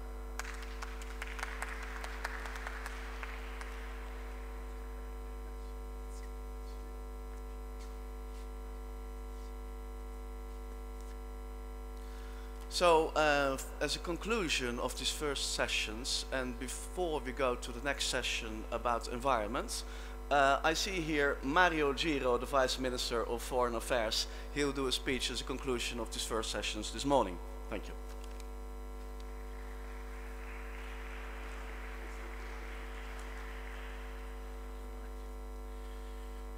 Thank you, Martin. Thank you to all. Of course, in my country, I have to speak in Italian as a minister. Cari amici, cari sindaci, caro sindaco di Firenze, caro sindaco di Palermo, è un piacere per me essere a questa terza edizione di Unity in Diversity, sono stato a tutte le edizioni, quindi sono contento di poter portare il saluto del governo italiano anche in questa terza edizione. Naturalmente veniamo da varie parti del mondo e oggi il mondo si coniuga con la parola complessità. Non che ieri il mondo fosse più semplice, ma oggi la complessità è diventata quotidiana, è entrata nel nostro quotidiano. E in particolare quella che riguarda il Mediterraneo di cui avete parlato questa mattina, naturalmente un Mediterraneo da intendere in un'accezione il più allargata possibile, che ne espande i confini verso est e verso sud. Chi non viene da questa parte del, del mondo penserà che noi mediterranei siamo un po' fissati, ci sentiamo il centro del mondo. E un po' è vero che non è solo il Mediterraneo e che bisogna anche dare ognuno il suo e sapere sapere che non ci sono solo i problemi del Mediterraneo, ma il Mediterraneo assume sempre un valore simbolico, questo valore di incontro-scontro che dura da secoli, da millenni potremmo dire, di gente che più diventa simile e più sembra allontanarsi, che poi è il portato della globalizzazione che stiamo vivendo. La tecnologia e la geografia ci avvicinano, la psicologia tende ad allontanarci. E allora, allora tutte le crisi, i flussi migratori, il terrorismo, paesi falliti, radicalizzazioni, estremismi, squilibri di ogni tipo, paure contrapposte e sembra che il dialogo diventi difficile e si guardano alle onde che stanno in superficie di questo mare senza guardare alle correnti profonde della storia, che è poi quello che faceva la Pira. Perché un uomo, tra l'altro originariamente un siciliano, che poi diventa sindaco di Firenze per un certo numero di anni, non lunghissimo, è ancora così attuale? Perché questo sindaco degli anni 50 parla ancora oggi?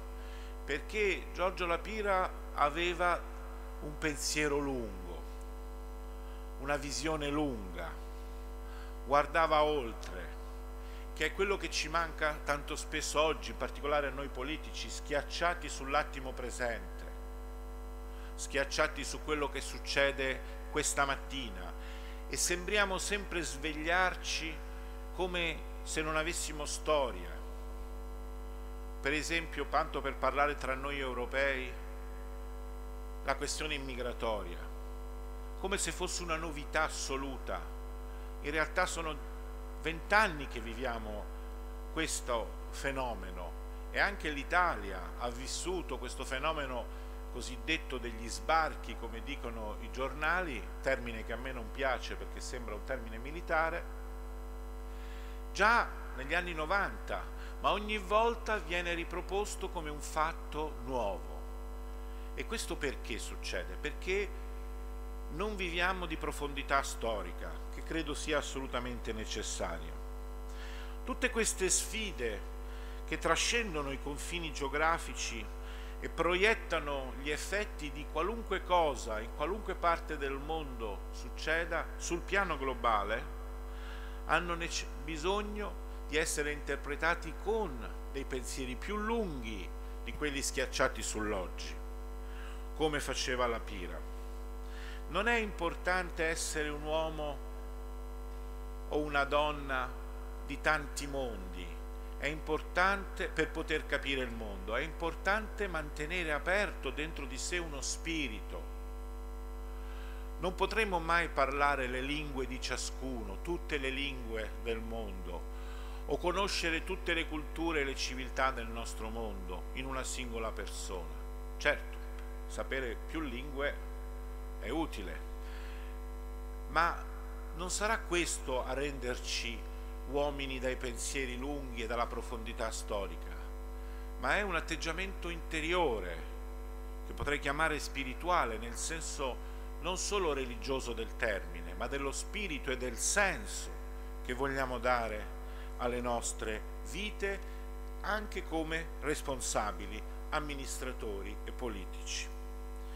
E allora il Mediterraneo assume tutti questi sensi simbolici perché è il luogo dove sono nati grandi civiltà e grandi religioni, come è stato anche appena detto, nella ricerca continua del dialogo, che non significa essere d'accordo, dialogo significa parlarsi, anche nel disaccordo, in un amorevole disaccordo, perché non diventeremo tutti uguali, anzi il diventare tutti uguali, l'omologarci è proprio il portato, il programma degli estremismi. Il programma degli estremismi di qualunque tipo, delle radicalizzazioni di qualunque tipo è farci diventare tutti uguali a loro. E questo non accadrà mai, è una pia illusione. E questo, in questo senso il simbolo del Mediterraneo ha enormi potenzialità ma anche enormi rischi. Il Mediterraneo in cui l'Italia è pienamente dentro, la geografia lo impone e quindi lo vive come una necessità. Gli antichi greci parlavano di ananché, la necessità, come qualcosa di cui non ti puoi liberare, ma devi saperla interpretare per volgerla al bene. Occorre quindi partire, cari amici, da una duplice realtà. Saper affrontare le crisi di qualunque tipo e dall'altro avere visione. Non lasciarsi intrappolare psicologicamente dalle crisi, come se fosse l'identità della nostra vita e della nostra vita politica. Per questo è utile incontrarsi. Molta gente dice ma che vi incontrate a fare? Vi siete incontrati e le guerre non sono finite ma non è questo l'obiettivo dell'incontro. L'obiettivo dell'incontro è certamente far finire le guerre e le crisi, ma prevenirne altre. È una crisi questa, è una critica questa ormai abbastanza frequente, diventata generale. La critica del multilateralismo, a cosa servono le Nazioni Unite, a cosa servono le riunioni internazionali, a cosa serve l'Unione Europea per noi europei. Ed è un errore perché basta pensare, sarebbe migliore il mondo senza Nazioni Unite? Chiaramente no. Sarebbe migliore l'Europa senza l'Unione Europea? Chiaramente no. Sarebbe migliore il mondo senza le riunioni internazionali? Sicuramente no. Sarebbe peggiore. Molto spesso, questo lo diceva Churchill, parlarsi serve a procrastinare le guerre è una guerra procrastinata, è una guerra evitata. Potremmo dire lo stesso per le crisi. Dobbiamo però sicuramente porci il problema della pace in termini concreti. Dobbiamo porci il problema di reimparare a fare la pace. Abbiamo perso, abbastanza perso, la capacità di fare la pace siamo diventati tutti più identitari, cioè arroccati sulle nostre identità. E questo disimpara a fare la pace, perché una vera identità non ha paura di confrontarsi con le altre, è un'identità fragile che ha paura. Questo è molto necessario e urgente per le crisi di oggi, penso alla Libia, penso alla Siria, ma penso anche allo Yemen, di cui si parla pochissimo penso al futuro dell'Iraq, al futuro di tanti altri paesi, penso all'Africa subsahariana che è subito sotto. Bisogna credere che le crisi si possono gestire anche se non si ha immediatamente la soluzione generale del conflitto. È possibile gestire una crisi anche quando non hai tutte le chiavi.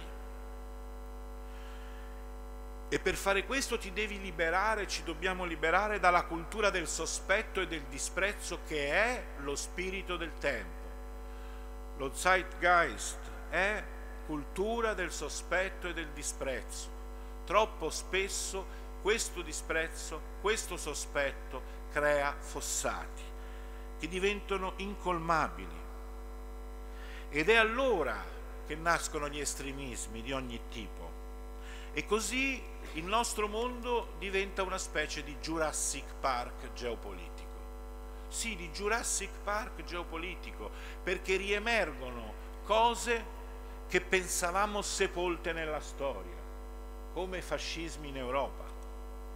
Dobbiamo dire la parola senza paura di dirla. Riemergono cose come i fascismi in Europa che pensavamo sepolte dalla storia. E questo crea estremismi. La politica dell'estremo, la politica dello shock. La politica non serve a creare estremismi e a procurare shock, la politica serve a risolvere le crisi.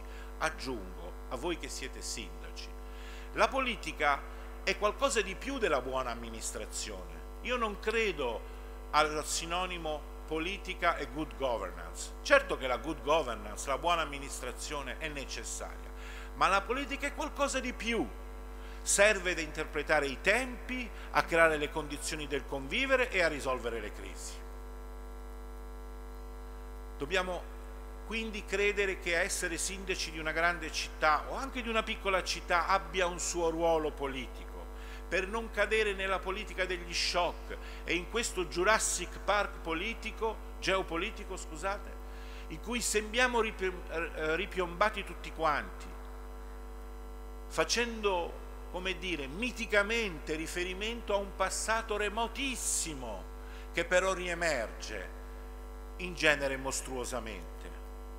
E qui apro una parentesi per, diciamo, noi italiani, mi scuserete, breve parentesi per noi italiani. Io penso che le ultime elezioni in Sicilia e a Ostia hanno dimostrato una cosa fondamentale. La gente non va a votare perché si è stufata di questa politica politicante fatta con la clava, di questi litigi continui. Non voglio dare un'accezione di destra o di sinistra.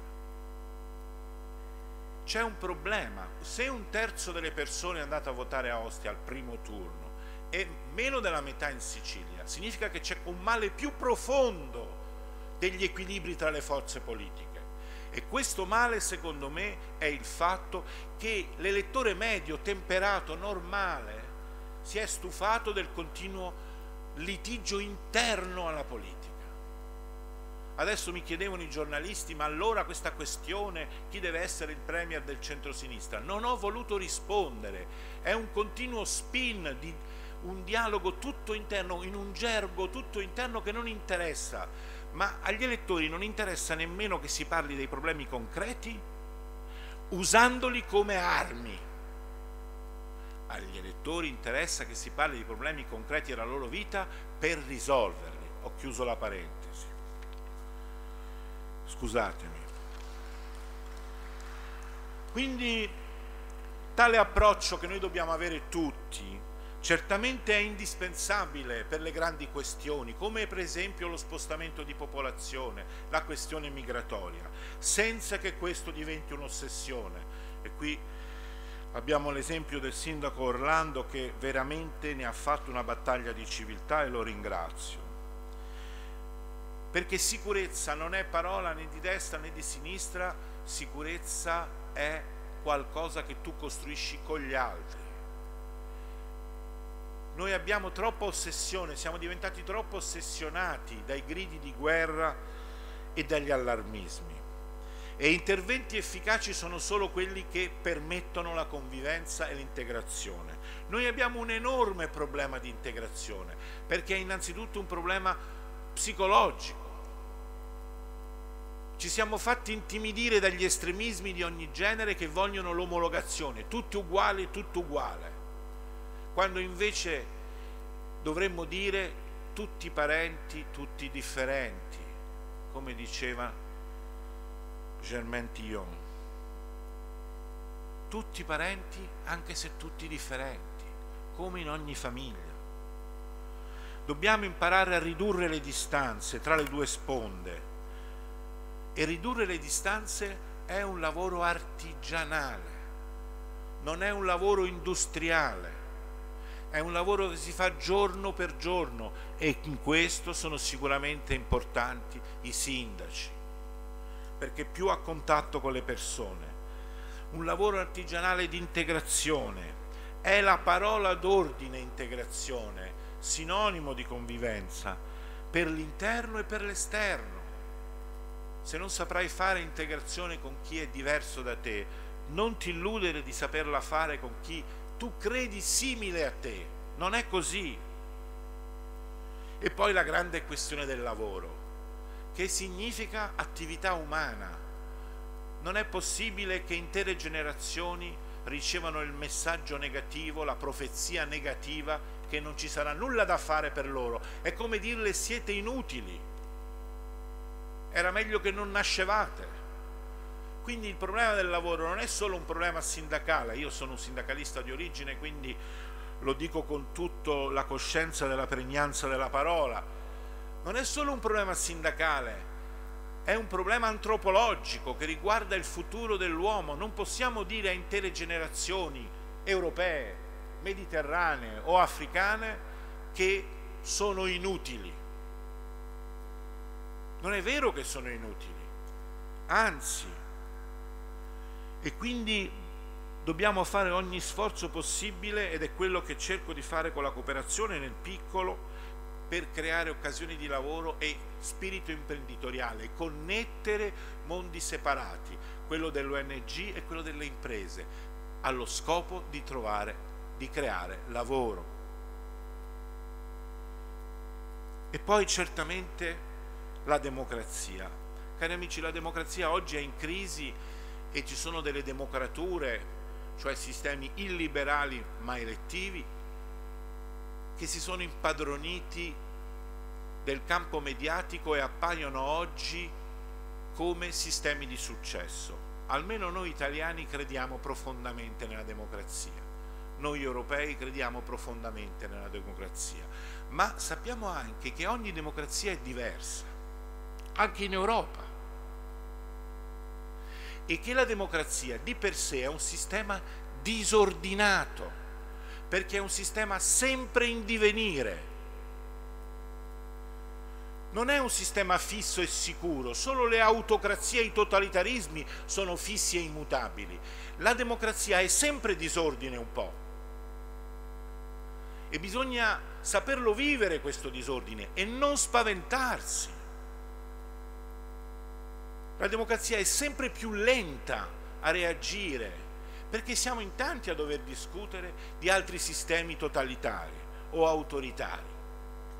Ma questo è nelle, nel DNA della democrazia. Per questo la democrazia sembra debole all'apparenza di fronte alla radicalizzazione e all'estremismo e allora si invocano leggi speciali, sistemi più duri, altri regimi. No! Anche di fronte al nazismo le democrazie se sembravano più deboli ma quando si svegliano dimostrano tutta la loro forza. La democrazia sembra debole, solo all'apparenza. E poi ognuno ha la sua forma e la sua strada verso la democrazia. Perché siamo tutti parenti, ma anche tutti differenti. E quindi popoli differenti che trovano ognuno la propria strada per dare spazio a tutti a tutto il popolo con la modalità che credono di esprimersi e di partecipare allo sviluppo del loro lavoro. Infine, cari amici, una parola sul dialogo interreligioso, già l'ho detta, io credo che il dialogo interreligioso non sia la specialità di alcuni esperti, deve diventare dialogo della vita, nei quartieri e nelle città. Per essere vero dialogo deve incontrarsi con la vita, perché la religione certo ha le sue verità, ma poi si confronta continuamente con la quotidianità. Tutti noi, anche i credenti, io sono credente e praticante, confrontano la loro fede con la quotidianità e con gli altri.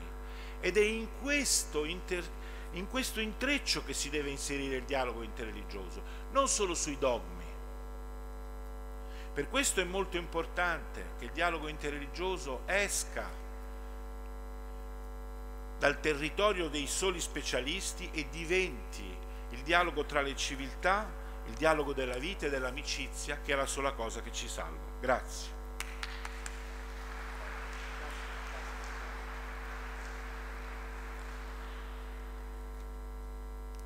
Thanks to the Vice Minister of Foreign Affairs, uh, Mario Giro, uh, was the, which was the conclusion, we made the conclusion of the first uh, sessions this morning.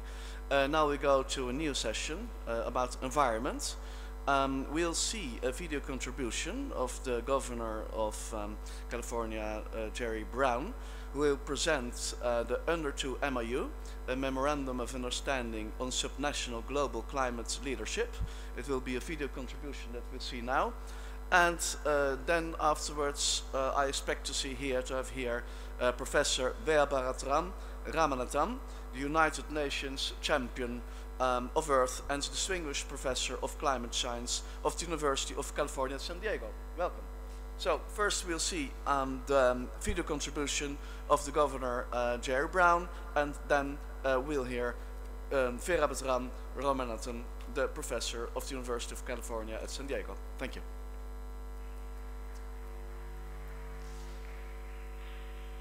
Greetings from California. I'm Jerry Brown, and I wish I could be with you as you engage in your important conversation and dialogue about issues facing the Mediterranean, even facing our entire world. These are indeed troubled times, financially, ethnically, politically.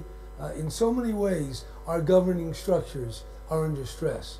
And it's at these times when our national governments are having their very many issues that at the local level, we can make a difference. Whether it's a state or cities, mayors or governors, there's a lot we can do. And you gathered here representing so many important cities of our world, there's a lot to do. And I'd like to ask you to consider one very important point, and that is climate change and the Under Two coalition that has been forming around the world. We have almost 190 states, uh, provinces, regions, and even cities that are joining together to commit to the Paris Agreement, to keeping the temperature under 2 degrees centigrade.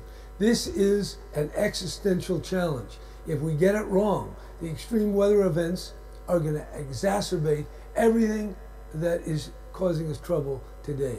Mass migration, uh, dislocations in economies, ethnic rivalries, all this can be made much worse and compounded by the deteriorating climate.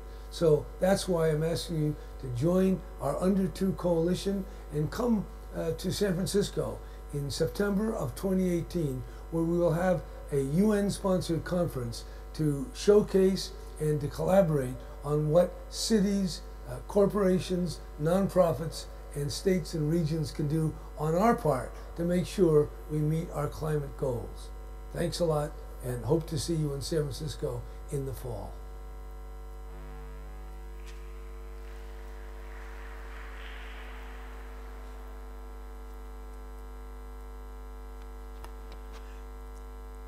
Honorable mayors and distinguished guests. I'm uh, truly honored and delighted to be here. In meetings like these, academics or professors are rarely invited or heard. So uh, I'm thank you for including me in this. I'm here uh, going to talk to you about climate change. About 43 years ago, I joined the American Space Agency, NASA, and helped them launch the first climate satellite. Since then, I've observed climate change with aircraft, ships, and satellites. Last year, when I went back and looked at all my data, I came to the most disturbing conclusion, which is that climate change very soon could become catastrophic and in another 30 to 40 years could threaten the lives of almost everyone in the planet. So I'm here as a council member of the Pontifical Academy of Science. I belong to many prestigious science academies, include the, including the Royal Swedish Academy, which offer, which gives Nobel prizes. But I consider the Pontifical Academy of Sciences, with just 80 members and 20 of whom are Nobel laureates, the most prestigious and influential academy in the world, in large part thanks to our Chancellor, Monsignor Marcelo Sanchez Sorando, whom we heard early today. So we have been organizing meetings for the last 10 years on climate change at the church inside the Vatican. Three years ago in 2014, uh, Monsignor Marcello and myself and few others organized a historic meeting in climate change. We briefed after the meeting the Holy Father Pope Francis and ultimately a year later it culminated in the publication of the Laudato Si.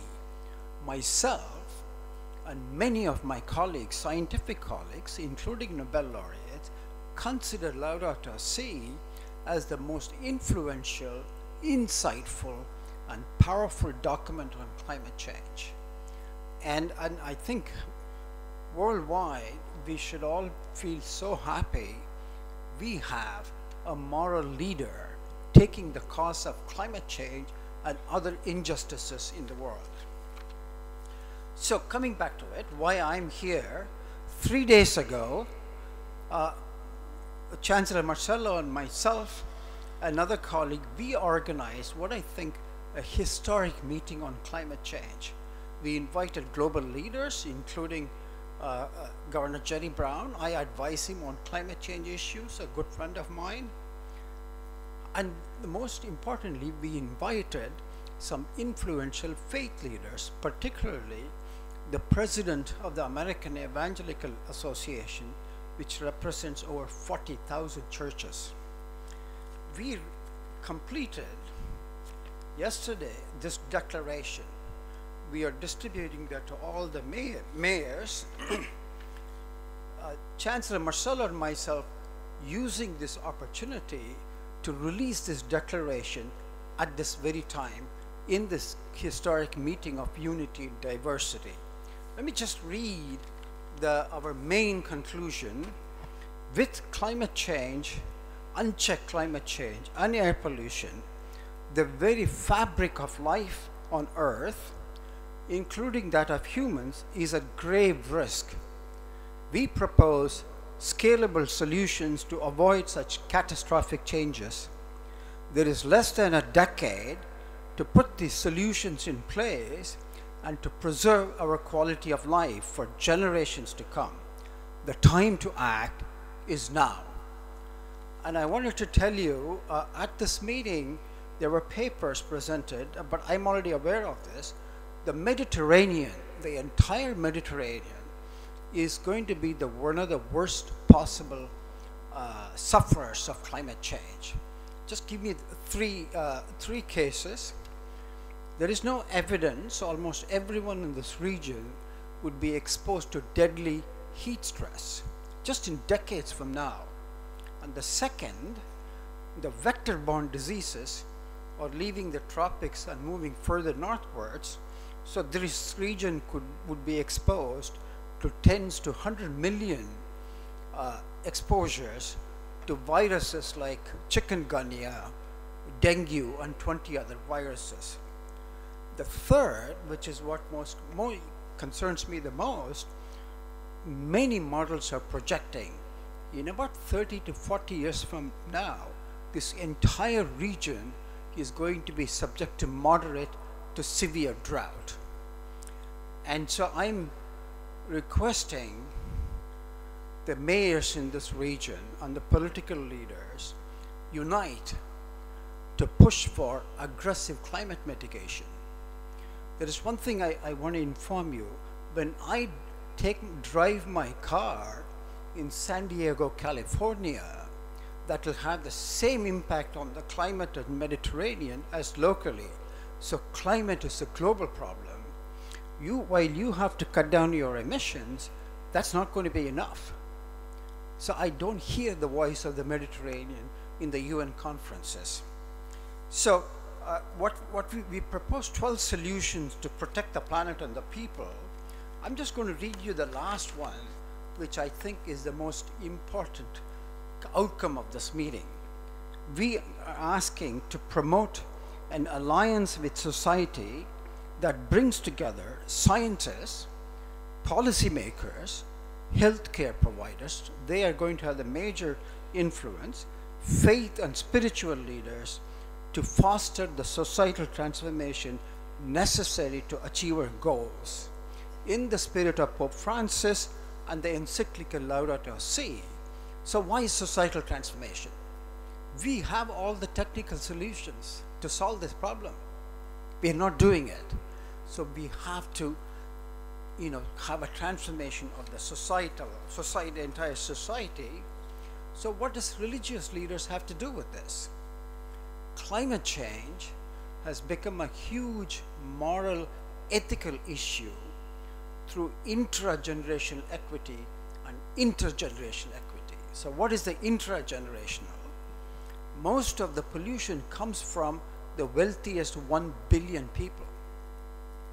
There are 3 billion poorest people who had almost nothing to do with this pollution.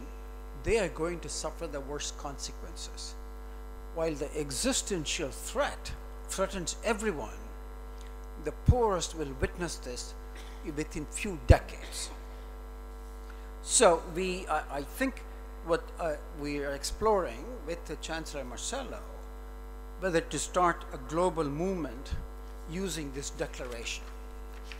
So kindly read this declaration, and if you agree with this, you can sign to the declaration uh, by uh, uh, you know contacting uh, the Vatican Pontifical Academy of Sciences. Thank you.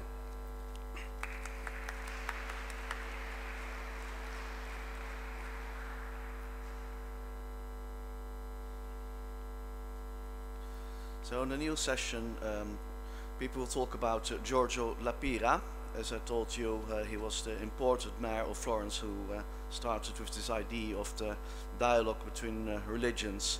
Uh, the man who said 50 years ago, if the unity of nations is not yet possible, we believe the united of cities is. And um, he died uh, 40 years ago, but his ideas are still valid and um, are never died and that's the reason that we are here at Unity in Diversity because the mayor of Florence has been inspired by him and now there will be a very interesting uh, video contribution of a beautiful Italian program La Storia Siamo Noi uh, Giorgio Lapira uh, La Fantasia Potere uh, by Giovanni Minoli. I see him over there. Welcome to Giovanni Minoli. And then he will talk about George Lapira the heritage of a visionary mayor, mayor who powerful intuition on the strategic role of cities fostered dialogue between world leaders and countries, introducing equality and social justice as criteria of pragmatic governance. I suppose first the video and then you will talk? Or first you prefer to talk? Okay, here's uh, Giovanni Minoli. Thank you.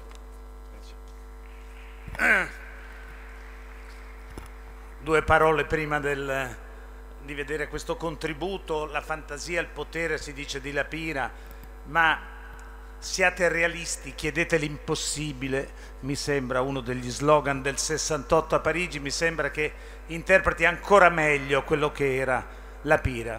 Siate realisti, chiedete l'impossibile, l'ho pensato l'ultima volta che l'ho incontrato all'aeroporto a Roma. Doveva partire per uno dei suoi viaggi abituali in, in, Vietnam a parlare con Ho Chi Minh, viaggi sempre complicati e tortuosi e eh, io lo consiglio abbastanza bene per ragioni familiari, è stato anche il testimone di nozze del mio matrimonio e mh, dico professore eh, eh, da dove parte? Parto da Milano, ah vabbè anche io vado a Milano, andiamo al gate per l'imbarco e, e dico professore eh, se mi dà la carta d'imbarco io eh, faccio il, il biglietto per le, faccio l'imbarco per lei. No, ma io non ho la carta d'imbarco. Come non ha la carta d'imbarco? No, non ho la carta d'imbarco. Ma non deve andare a Milano? Sì, devo andare a Milano.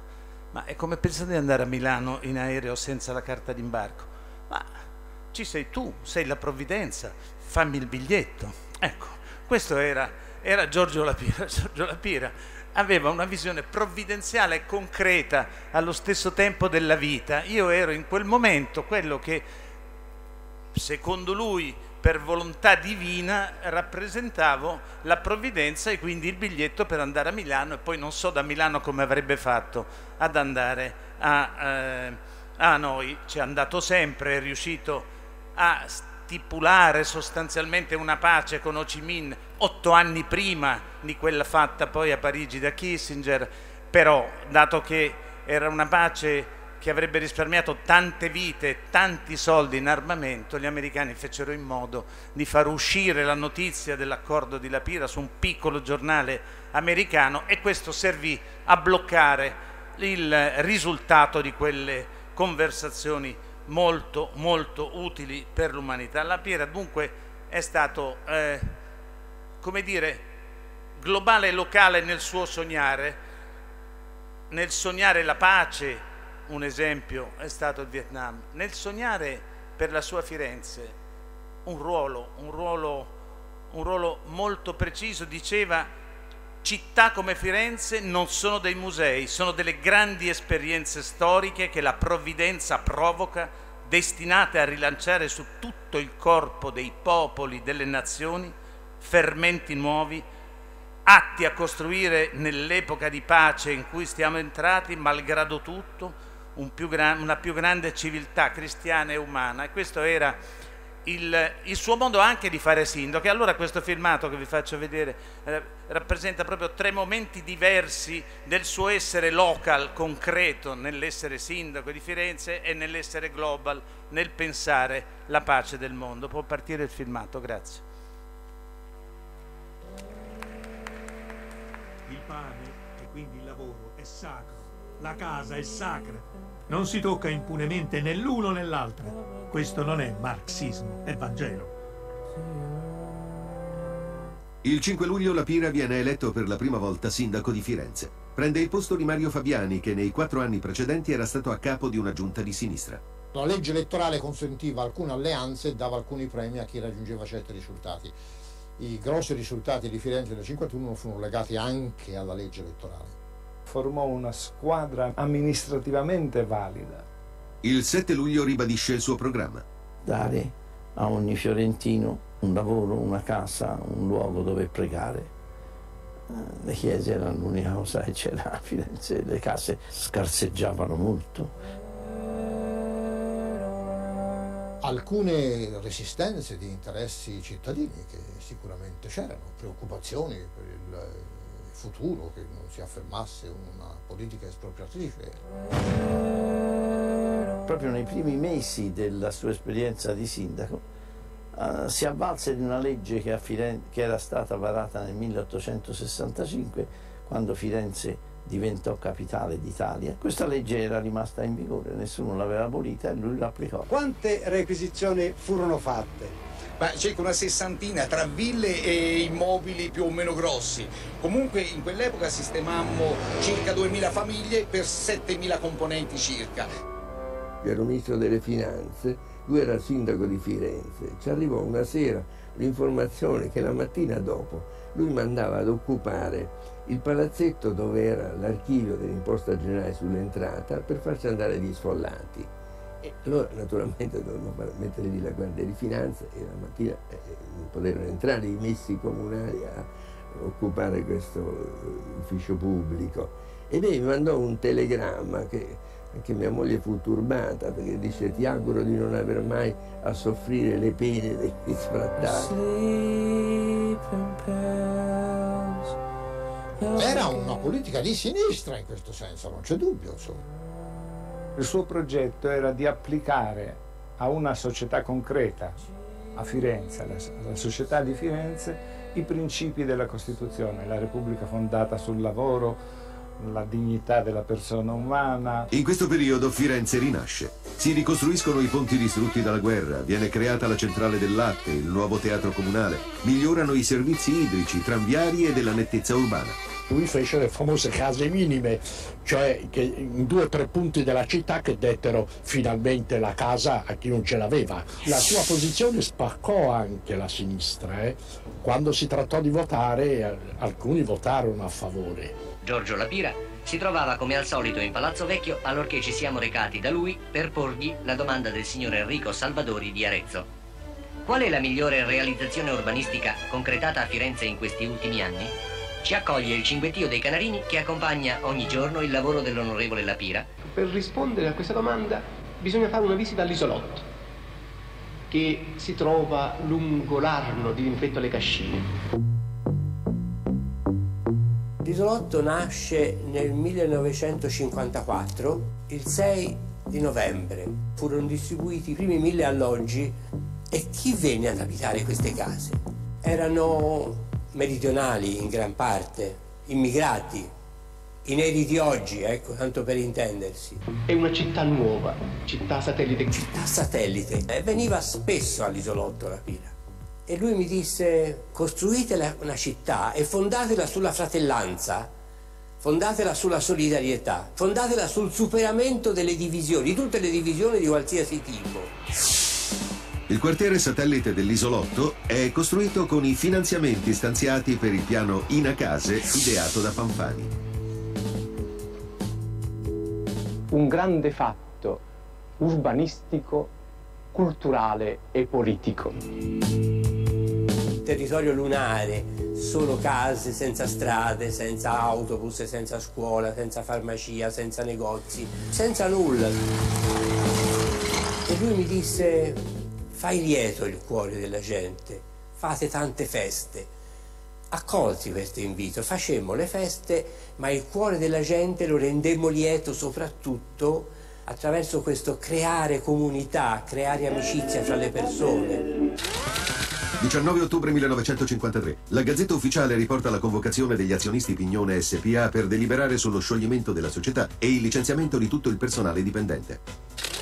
Il 20 ottobre il giornale del mattino titola Alla Pignone, situazione grave. Ci fu un progetto di smantellare queste fabbriche, di gettare sul lastrico 2.000 operai da una parte e 3.000 operai dall'altra. 21 ottobre, la Pira comunica a Fanfani che Marinotti vuol chiudere la Pignone. I conti del loro bilancio veramente portavano a una necessità di chiusura. 22 ottobre 1953 partono i primi 1750 licenziamenti. Marinotti rifiuta un incontro con il sindaco per impellenti impegni in Francia. In ogni paese ho dipinto. 23 ottobre, ritirato il passaporto a Marinotti su disposizione del ministro degli interni Fanfani. Fanfani, su richiesta di Lapira, fece questo gesto anche di, dire, di indipendenza dal mondo capitalistico. 24 ottobre, sciopero generale a Firenze. Marinotti si rivolge direttamente al primo ministro Pella. È convocato un incontro con parti sociali e proprietà, ma non viene trovato un accordo. 31 ottobre, è annunciato un altro sciopero generale e la Pira minaccia le dimissioni. Fanfani gli scrive parole di incoraggiamento. Caro Giorgio, le croci non si scelgono. Tu non puoi essere il sindaco delle giornate serene soltanto. Che cosa sogna il comune di Firenze? Che 1600 lavoratori restino al lavoro. Questo sogno è anche il mio. Vuoi lasciarmi solo a combattere? Tuo Amintore. 16 novembre. La SNIA Viscosa scioglie la società Pignone. 17 novembre. Gli operai occupano la fabbrica e la Pira decide di raggiungerli. Quella è una cosa che ho seguito da cronista e il sindaco andò fino alla fabbrica per dare la sua solidarietà, ma non solo la solidarietà, dice ma come? Era, era domenica ricordo, dice possono 2000 operai che occupano la fabbrica restare senza la messa? No, allora bisogna trovare un parroco che vada a dire la messa per gli operai. Fu uno scandalo, uno scandalo totale in Italia per quell'epoca. Anche l'amico Fanfani scrive parole durissime. Tu non ti rendi conto in quale situazione mi hai già messo? E in quale situazione mi metteresti ove tu continuassi nelle manifestazioni esterne che ti trasformano da sindaco in capo di agitazioni sindacali. Credo mio dovere di avvertirti, e Dio solo sa con quale sacrificio io faccia questo, che ove tu non rispettassi le norme suddette mi metteresti in condizioni di prendere provvedimenti gravidi di conseguenze per te, per la città di Firenze, per me, per la nazione italiana. 27 novembre. La città si stringe attorno al suo sindaco. Aminto Recaro. Ma come? Duemila licenziamenti illegittimi. Tu come ministro dell'interno non mi incuti nessuna paura e non mi susciti neanche, perdona, speciale rispetto. Firenze organizza una colletta per i suoi operai. I negozianti chiudono per solidarietà. La città scende in piazza. 29 novembre. Fanfani ha finalmente buone notizie. A risolvere il caso Pignone potrebbe essere il presidente dell'ENI Enrico Mattei. Tutta la, la tessitura paziente eh, di quei mesi per convincere un grande imprenditore delle partecipazioni statali a comprare. 30 dicembre 1953 viene costituita la società Nuovo Pignone. Con il 60% azionista di maggioranza diviene l'ENI attraverso la controllata Agip. Credo sia stata una scelta formidabile, sia da un punto di vista economico sia da un punto di vista anche di espansione. Il ministro dell'industria della RAU, signor Sidki, il quale è in Italia a capo di una missione araba, si reca al nuovo Pignone di Firenze. Gli fa da guida in questa visita il presidente dell'ENI, ingegner Mattei. Mattei presenta al ministro nigeriano il sindaco di Firenze, professor Lapira, che lo accoglie con la sua abituale esuberanza. Le intuizioni politiche profonde che sono alla base, diciamo, del salvataggio. C'è un rapporto organico fra lavoratore e fabbrica, questa è l'intuizione profonda di Lapira. E questa, diciamo, la sfida di Lapira contro un sistema che voleva uccidere una fabbrica senza alcuna verifica circa le potenzialità di questa classe operaia, di questo mondo di tecnici. Una grande vittoria per Lapira e Fanfani. Fanfani, accompagnato dal nuovo presidente dell'ENI, professor Boldrini, inaugura una nuova sezione dello stabilimento di Firenze. La nuova Pignone, quando è stata privatizzata a metà degli anni 90, deteneva un contratto pluridecennale di manutenzione di tutto il sistema di estrazione e distribuzione del petrolio della Russia un valore economico e strategico incalcolabile. I suoi obiettivi erano i poveri, erano la conversione della Russia ed erano la pace universale. Dice, ma, ma lui credeva in queste cose, la, lavorava su questa prospettiva. Per ottenere questi risultati che cosa faceva la Pira? Eh, inventava Firenze Rullano i tamburi, sventolano i gonfaloni della città di Firenze che ospita un convegno dei sindaci giunti dalle capitali dei cinque continenti. Per la prima volta vedemmo il sindaco di Mosca, il sindaco di Pechino. Apertura dei lavori nel Salone dei 500 in Palazzo Vecchio. Era la fantasia al potere, la Pira. Il sindaco Lapira pronuncia il discorso inaugurale. Era convinto che bisognava perseguire a tutti i costi una politica di pace. Al termine del congresso sarà sottoscritto un documento simbolico che dirà quando dice pace non è che proclami una retorica. Le città capitali di tutto il mondo convenute a Firenze si ripromettono reciproca amicizia e pace. Dopo questo convegno la Pira ebbe l'invito di restituire la visita che il sindaco di Mosca aveva fatto a Firenze, di restituirla a Mosca. Scelse come data la festa dell'Assunzione, il 15 agosto. All'aeroporto il rappresentante del Soviet Supremo gli dice professore domani dobbiamo andare al Cremlino ma incontrare il Soviet Supremo e lui disse no purtroppo domani non è possibile perché essendo domenica io devo andare a messa. Allora lo facciamo lunedì questo incontro col Soviet Supremo, no lunedì è il 15, il giorno per cui sono venuto è una grande festa, l'assunzione per noi cattolici, la dormizione della Vergine per gli ortodossi, quindi non è possibile, devo andare in un santuario russo. Il terzo giorno al Soviet Supremo, ricordo ancora la frase che disse, signori, noi non siamo in due, eravamo in due, basta noi, perché siamo in quattro, perché abbiamo anche gli angeli custodi. E poi, dice, in questo momento io ho invitato tutte le suore di clausura esistenti nel mondo a pregare perché questo incontro dia frutti di pace. Dicevano i sovietici, certo noi mm, non è che capiamo molto, ma però sappiamo che lei è sincera, quindi la, la, la, sincerità della sua fede religiosa e la forza con cui la esprime è una cosa che ci appassiona.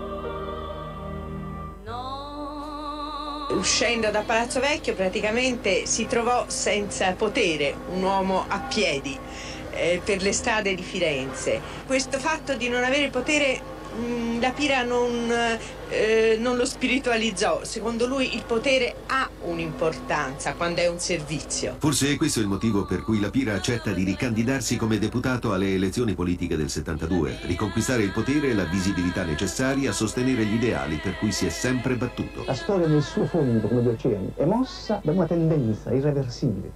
E quella tendenza è, è la unificazione, in qualche maniera, eh, della famiglia abramitica. Ora, quali sono i problemi del Medio Oriente, quali erano ieri e quali sono oggi? I tre stati che devono, essere, che devono coesistere. Lo Stato di Israele, lo Stato palestinese, che va costituito, e, e, e gli Stati arabi.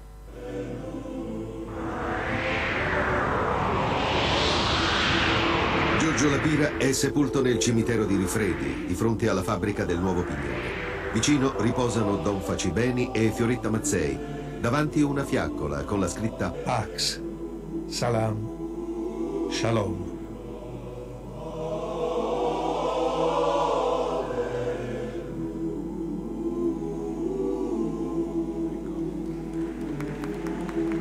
Questa è una brevissima sintesi della Pira visionario per la pace nel mondo e eh, sindaco concreto. Chiudo con una piccola citazione. Abbiamo visto il suo, dire, il suo obiettivo di ricostruire la famiglia bramitica. Andreotti mi ha raccontato che il padre dell'attuale re del Marocco un giorno gli disse senta, io sono musulmano, ma posso testimoniare per la causa della beatificazione di Lapira? Questa era la domanda del re del Marocco. Grazie.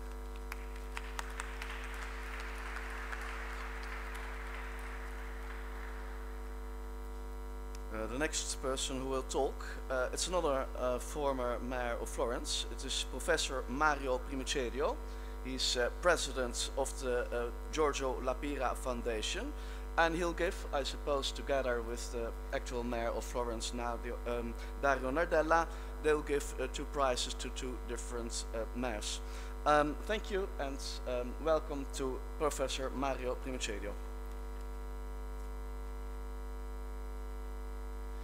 Sì, soltanto due parole nella mia qualità di presidente della Fondazione La Pira. Io sono stato a suo tempo un giovane collaboratore di La Pira l'ho accompagnato in molti dei suoi viaggi all'estero e sono particolarmente grato al sindaco Nardella per aver pensato di dedicare questi convegni Unity in Diversity alla memoria di Giorgio Lapira perché sono veramente fatte nello spirito di quello che Lapira diceva unire le città per unire le nazioni. La Pira negli ultimi anni della sua vita fu pure presidente della Federazione Mondiale della, delle Città Unite e in questa qualità si adoperò in diverse occasioni per favorire il dialogo nord-sud e il dialogo est-ovest. E credo che questi convegni riprendano proprio un poco come ci ha mostrato il filmato di Giovanni Minoli, lo spirito che aveva il professor Lapira. Ma io ringrazio il sindaco Nardella anche per un'altra ragione, per aver voluto associare la Fondazione Lapira nell'attribuzione di questo premio Città di Firenze che viene assegnato ogni volta che si celebra il convegno Unity in Diversity. E quest'anno per il quarantesimo anniversario della morte di Lapira è stato deciso di raddoppiare il premio nel senso di attribuire due premi, uno a una città italiana e uno a una città non italiana. Quindi credo che possiamo senz'altro passare all'attribuzione di questi premi.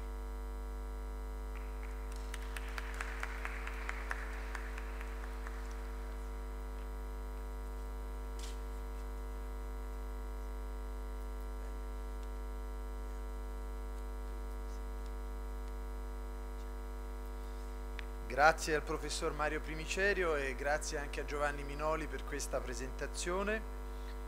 Dunque abbiamo l'onore di attribuire questi due riconoscimenti anche come incoraggiamento per il lavoro futuro e riconoscimento per ciò che hanno fatto fino ad ora. Al sindaco di città non italiana il eh, premio del sindaco Giorgio Lapira va al sindaco della città di Fes.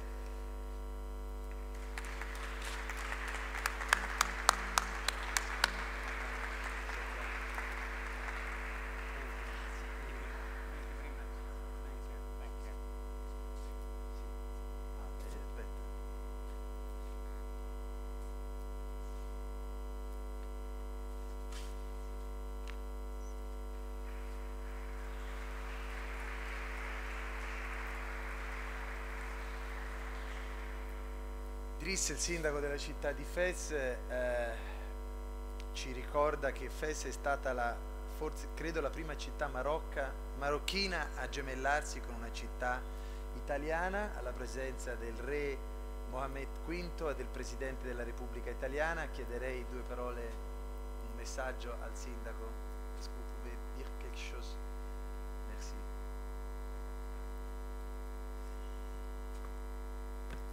Merci, monsieur le maire. Je vais parler en français. Euh, honorable maire, euh, distingué invité, cher ami Dario, monsieur le président de la fondation, je suis euh, très honoré et très heureux de recevoir le prix de la fondation Giorgio Lapira au nom de la ville de Fès. Euh, je tiens à vous remercier pour euh, cette distinction, cette distinction qui marque euh, plus de 55 ans de relations de jumelage entre la ville de Fès et la ville de Florence. Vous l'avez rappelé, ça a été signé en présence de Sa Majesté Mohamed V et du président de la République italienne. Je tiens également à vous féliciter pour le fait de faire durer l'esprit de Giorgio Lapira, l'esprit de paix, de tolérance, de l'unité dans la diversité. C'était un visionnaire de son époque. Et voilà, plusieurs années après, on est à ce stade de travailler ensemble pour la paix, la tolérance, la dignité humaine, les droits de l'homme. Bravo pour ce que vous faites et bravo, Monsieur le Président.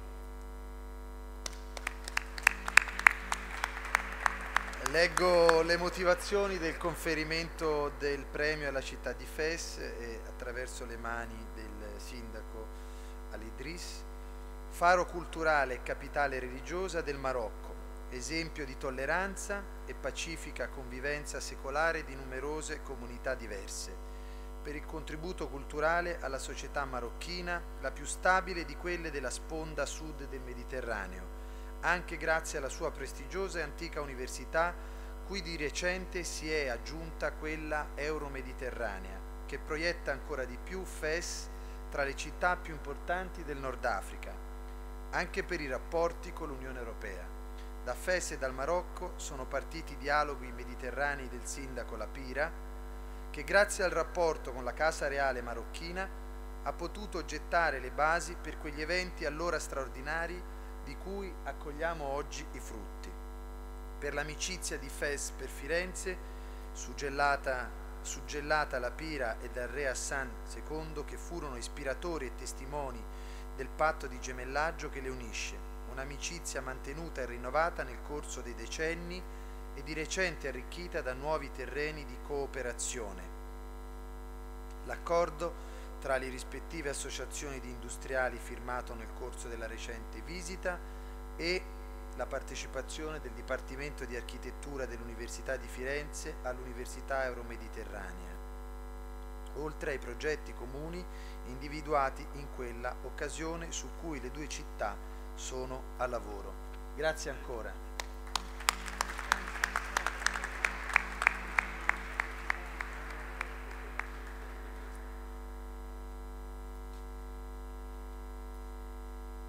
Premio per una città italiana è stato assegnato alla città di Palermo e c'è qui il sindaco di Palermo Leoluca Orlando.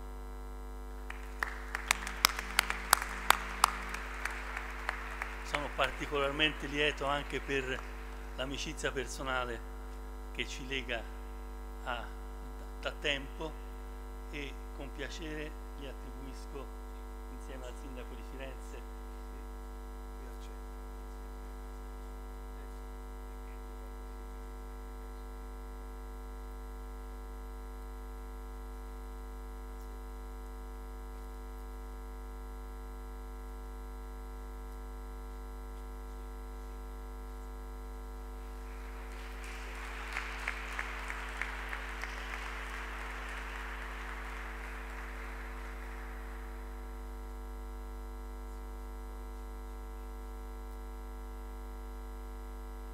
leggo la motivazione del premio alla città di Palermo per la sua storia millenaria che ne fa una delle capitali più importanti e resilienti del Mediterraneo, per il recente impulso all'innovazione tecnologica nei servizi e per le iniziative anche internazionali volte a migliorarne la sicurezza come Safer Cities, di cui il sindaco Leoluca Orlando è divenuto copresidente nel 2015, con responsabilità per l'Europa e per l'Africa. Inoltre per lo spirito di accoglienza e tolleranza con cui la città ha saputo affrontare il crescente flusso di migranti economici e richiedenti asilo che ha recentemente interessato anche Palermo almeno quanto altre città del sud d'Italia infine anche la sua designazione a capitale della cultura italiana per il 2018 insieme al recente inserimento del percorso arabo-normanno di Palermo testimoniano la vitalità e la ricchezza culturale di una delle più antiche capitali del Mediterraneo, che ne incarna così lo spirito e le caratteristiche più pregnante, crocevia di popoli, tradizioni, culture e commerci che si fondano e si rinnovano generando ogni volta una convivenza diversa e arricchita dalle esperienze passate.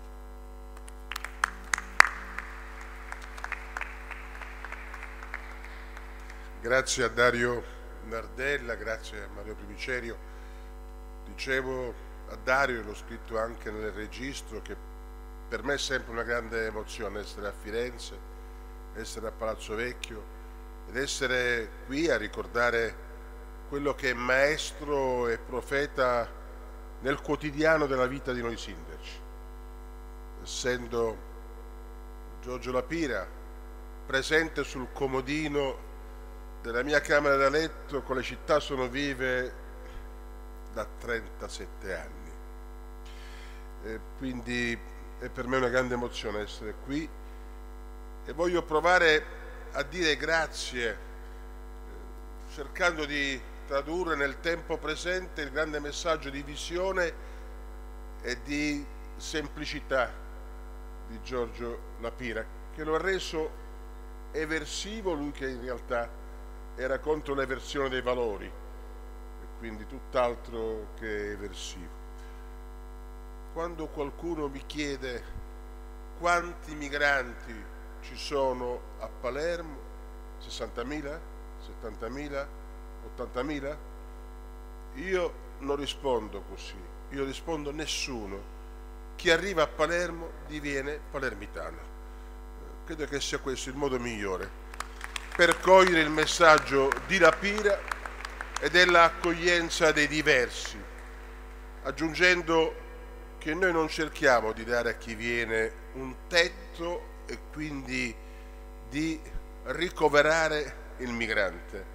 Noi cerchiamo di accogliere chi viene, ma per poter accogliere chi viene occorre che chi accoglie non sia un tetto ma sia una comunità. Ed è esattamente lo sforzo di ogni giorno, di essere comunità, comunità dei diversi, dove la diversità non è motivo di preoccupazione. Stefano de Mistura stamattina citava una mia definizione del Mediterraneo che è definizione di Palermo. Mi dispiace, Palermo non è un quadro, non è neanche un arazzo, non ho nulla contro i quadri e contro gli arazzi.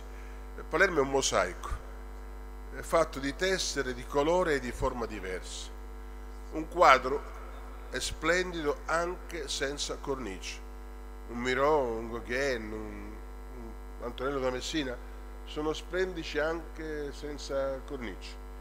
Un mosaico senza cornice è una confusa lista di cocci di pietra. Bene, noi abbiamo scelto di dare una cornice al nostro mosaico. Abbiamo scelto di mettere nella cornice rispetto alla persona umana, di ogni persona umana. To be different, to be equal. To be different, perché siamo pezzi di un mosaico. To be equal, perché siamo persone umane. E nel tempo che viviamo il messaggio di Giorgio Lapira ci porta a dire che oggi il mondo ha due nomi, Google e Ali. Eh sì, eh, Google e Ali. Google che esprime la connessione virtuale e Ali che esprime la connessione umana. Maledetti i popoli che seguono Google senza rispettare Ali e destinati all'insuccesso i popoli che accolgono Ali ma non considerano che esista Google. Palermo sta cercando di essere al tempo stesso la città di Google e di Ali, eh, dalla parte di Ali ovviamente, schierato dalla parte dei migranti, perché la innovazione non è alternativa all'umanizzazione della vita. E credo che sia questo il messaggio di Giorgio eh, Lapira. Potrei continuare ancora, ma la cosa che noi abbiamo scelto eh, di essere intolleranti rispetto a due parole. Siamo intolleranti e chiediamo perdono nei riguardi della parola extracomunitario. Nell'amministrazione comunale è fatto divieto di usare l'espressione extracomunitario. È anche fatto divieto di usare l'espressione euro-mediterraneo. Perché euro e non afro? Perché euro e non asiatico, mediterraneo? Il Mediterraneo è il Mediterraneo,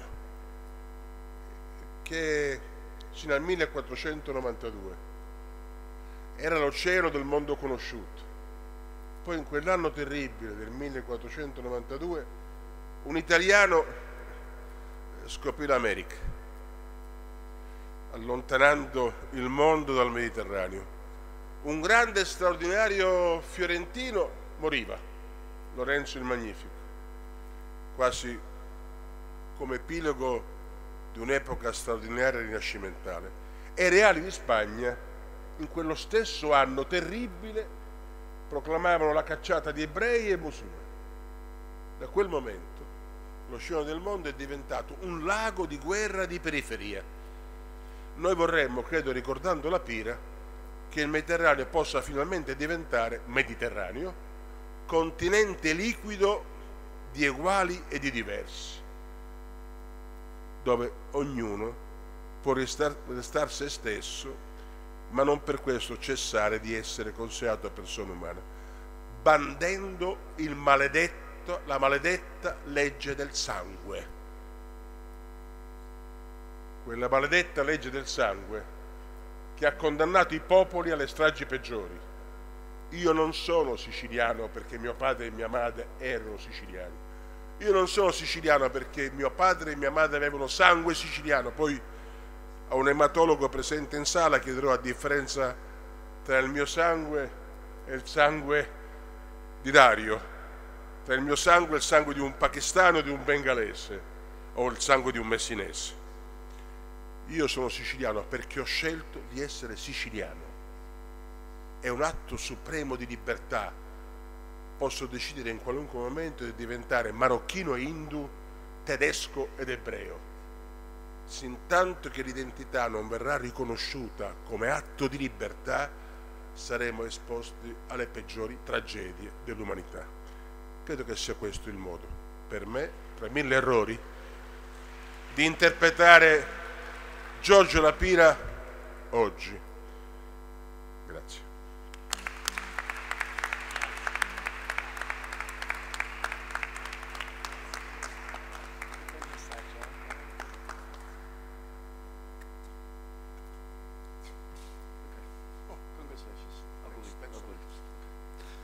Um, so this is uh, the end of the morning. Uh, there have been a lot of sessions. Uh, I would like to thank you all for, for your attention. Uh, this afternoon uh, we'll continue at a quarter uh, to three. quarter to three it will start again. this is my moment to say goodbye to you. I would like to thank you for uh, all the attention that you paid this morning to all the sessions. You're all invited to a lunch. This is downstairs, it's the, the ground floor and uh, at quarter to three you're welcome here for an open session in which you can all give your contribution and to discuss about the several topics that have been addressed this morning. Thank you, thank you, um, dear um, Mass of the world, uh, Honorable Mass, thank you for the attention this morning and you're welcome here again at a quarter to three. The lunch will be at ground floor. Thank you.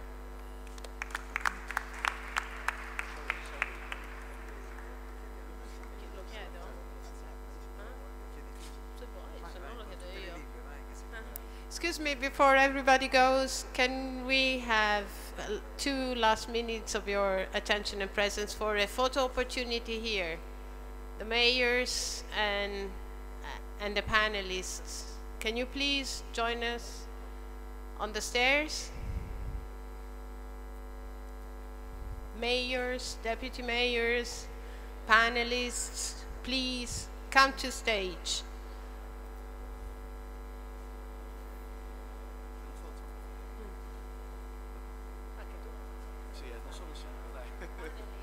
pelo pelo.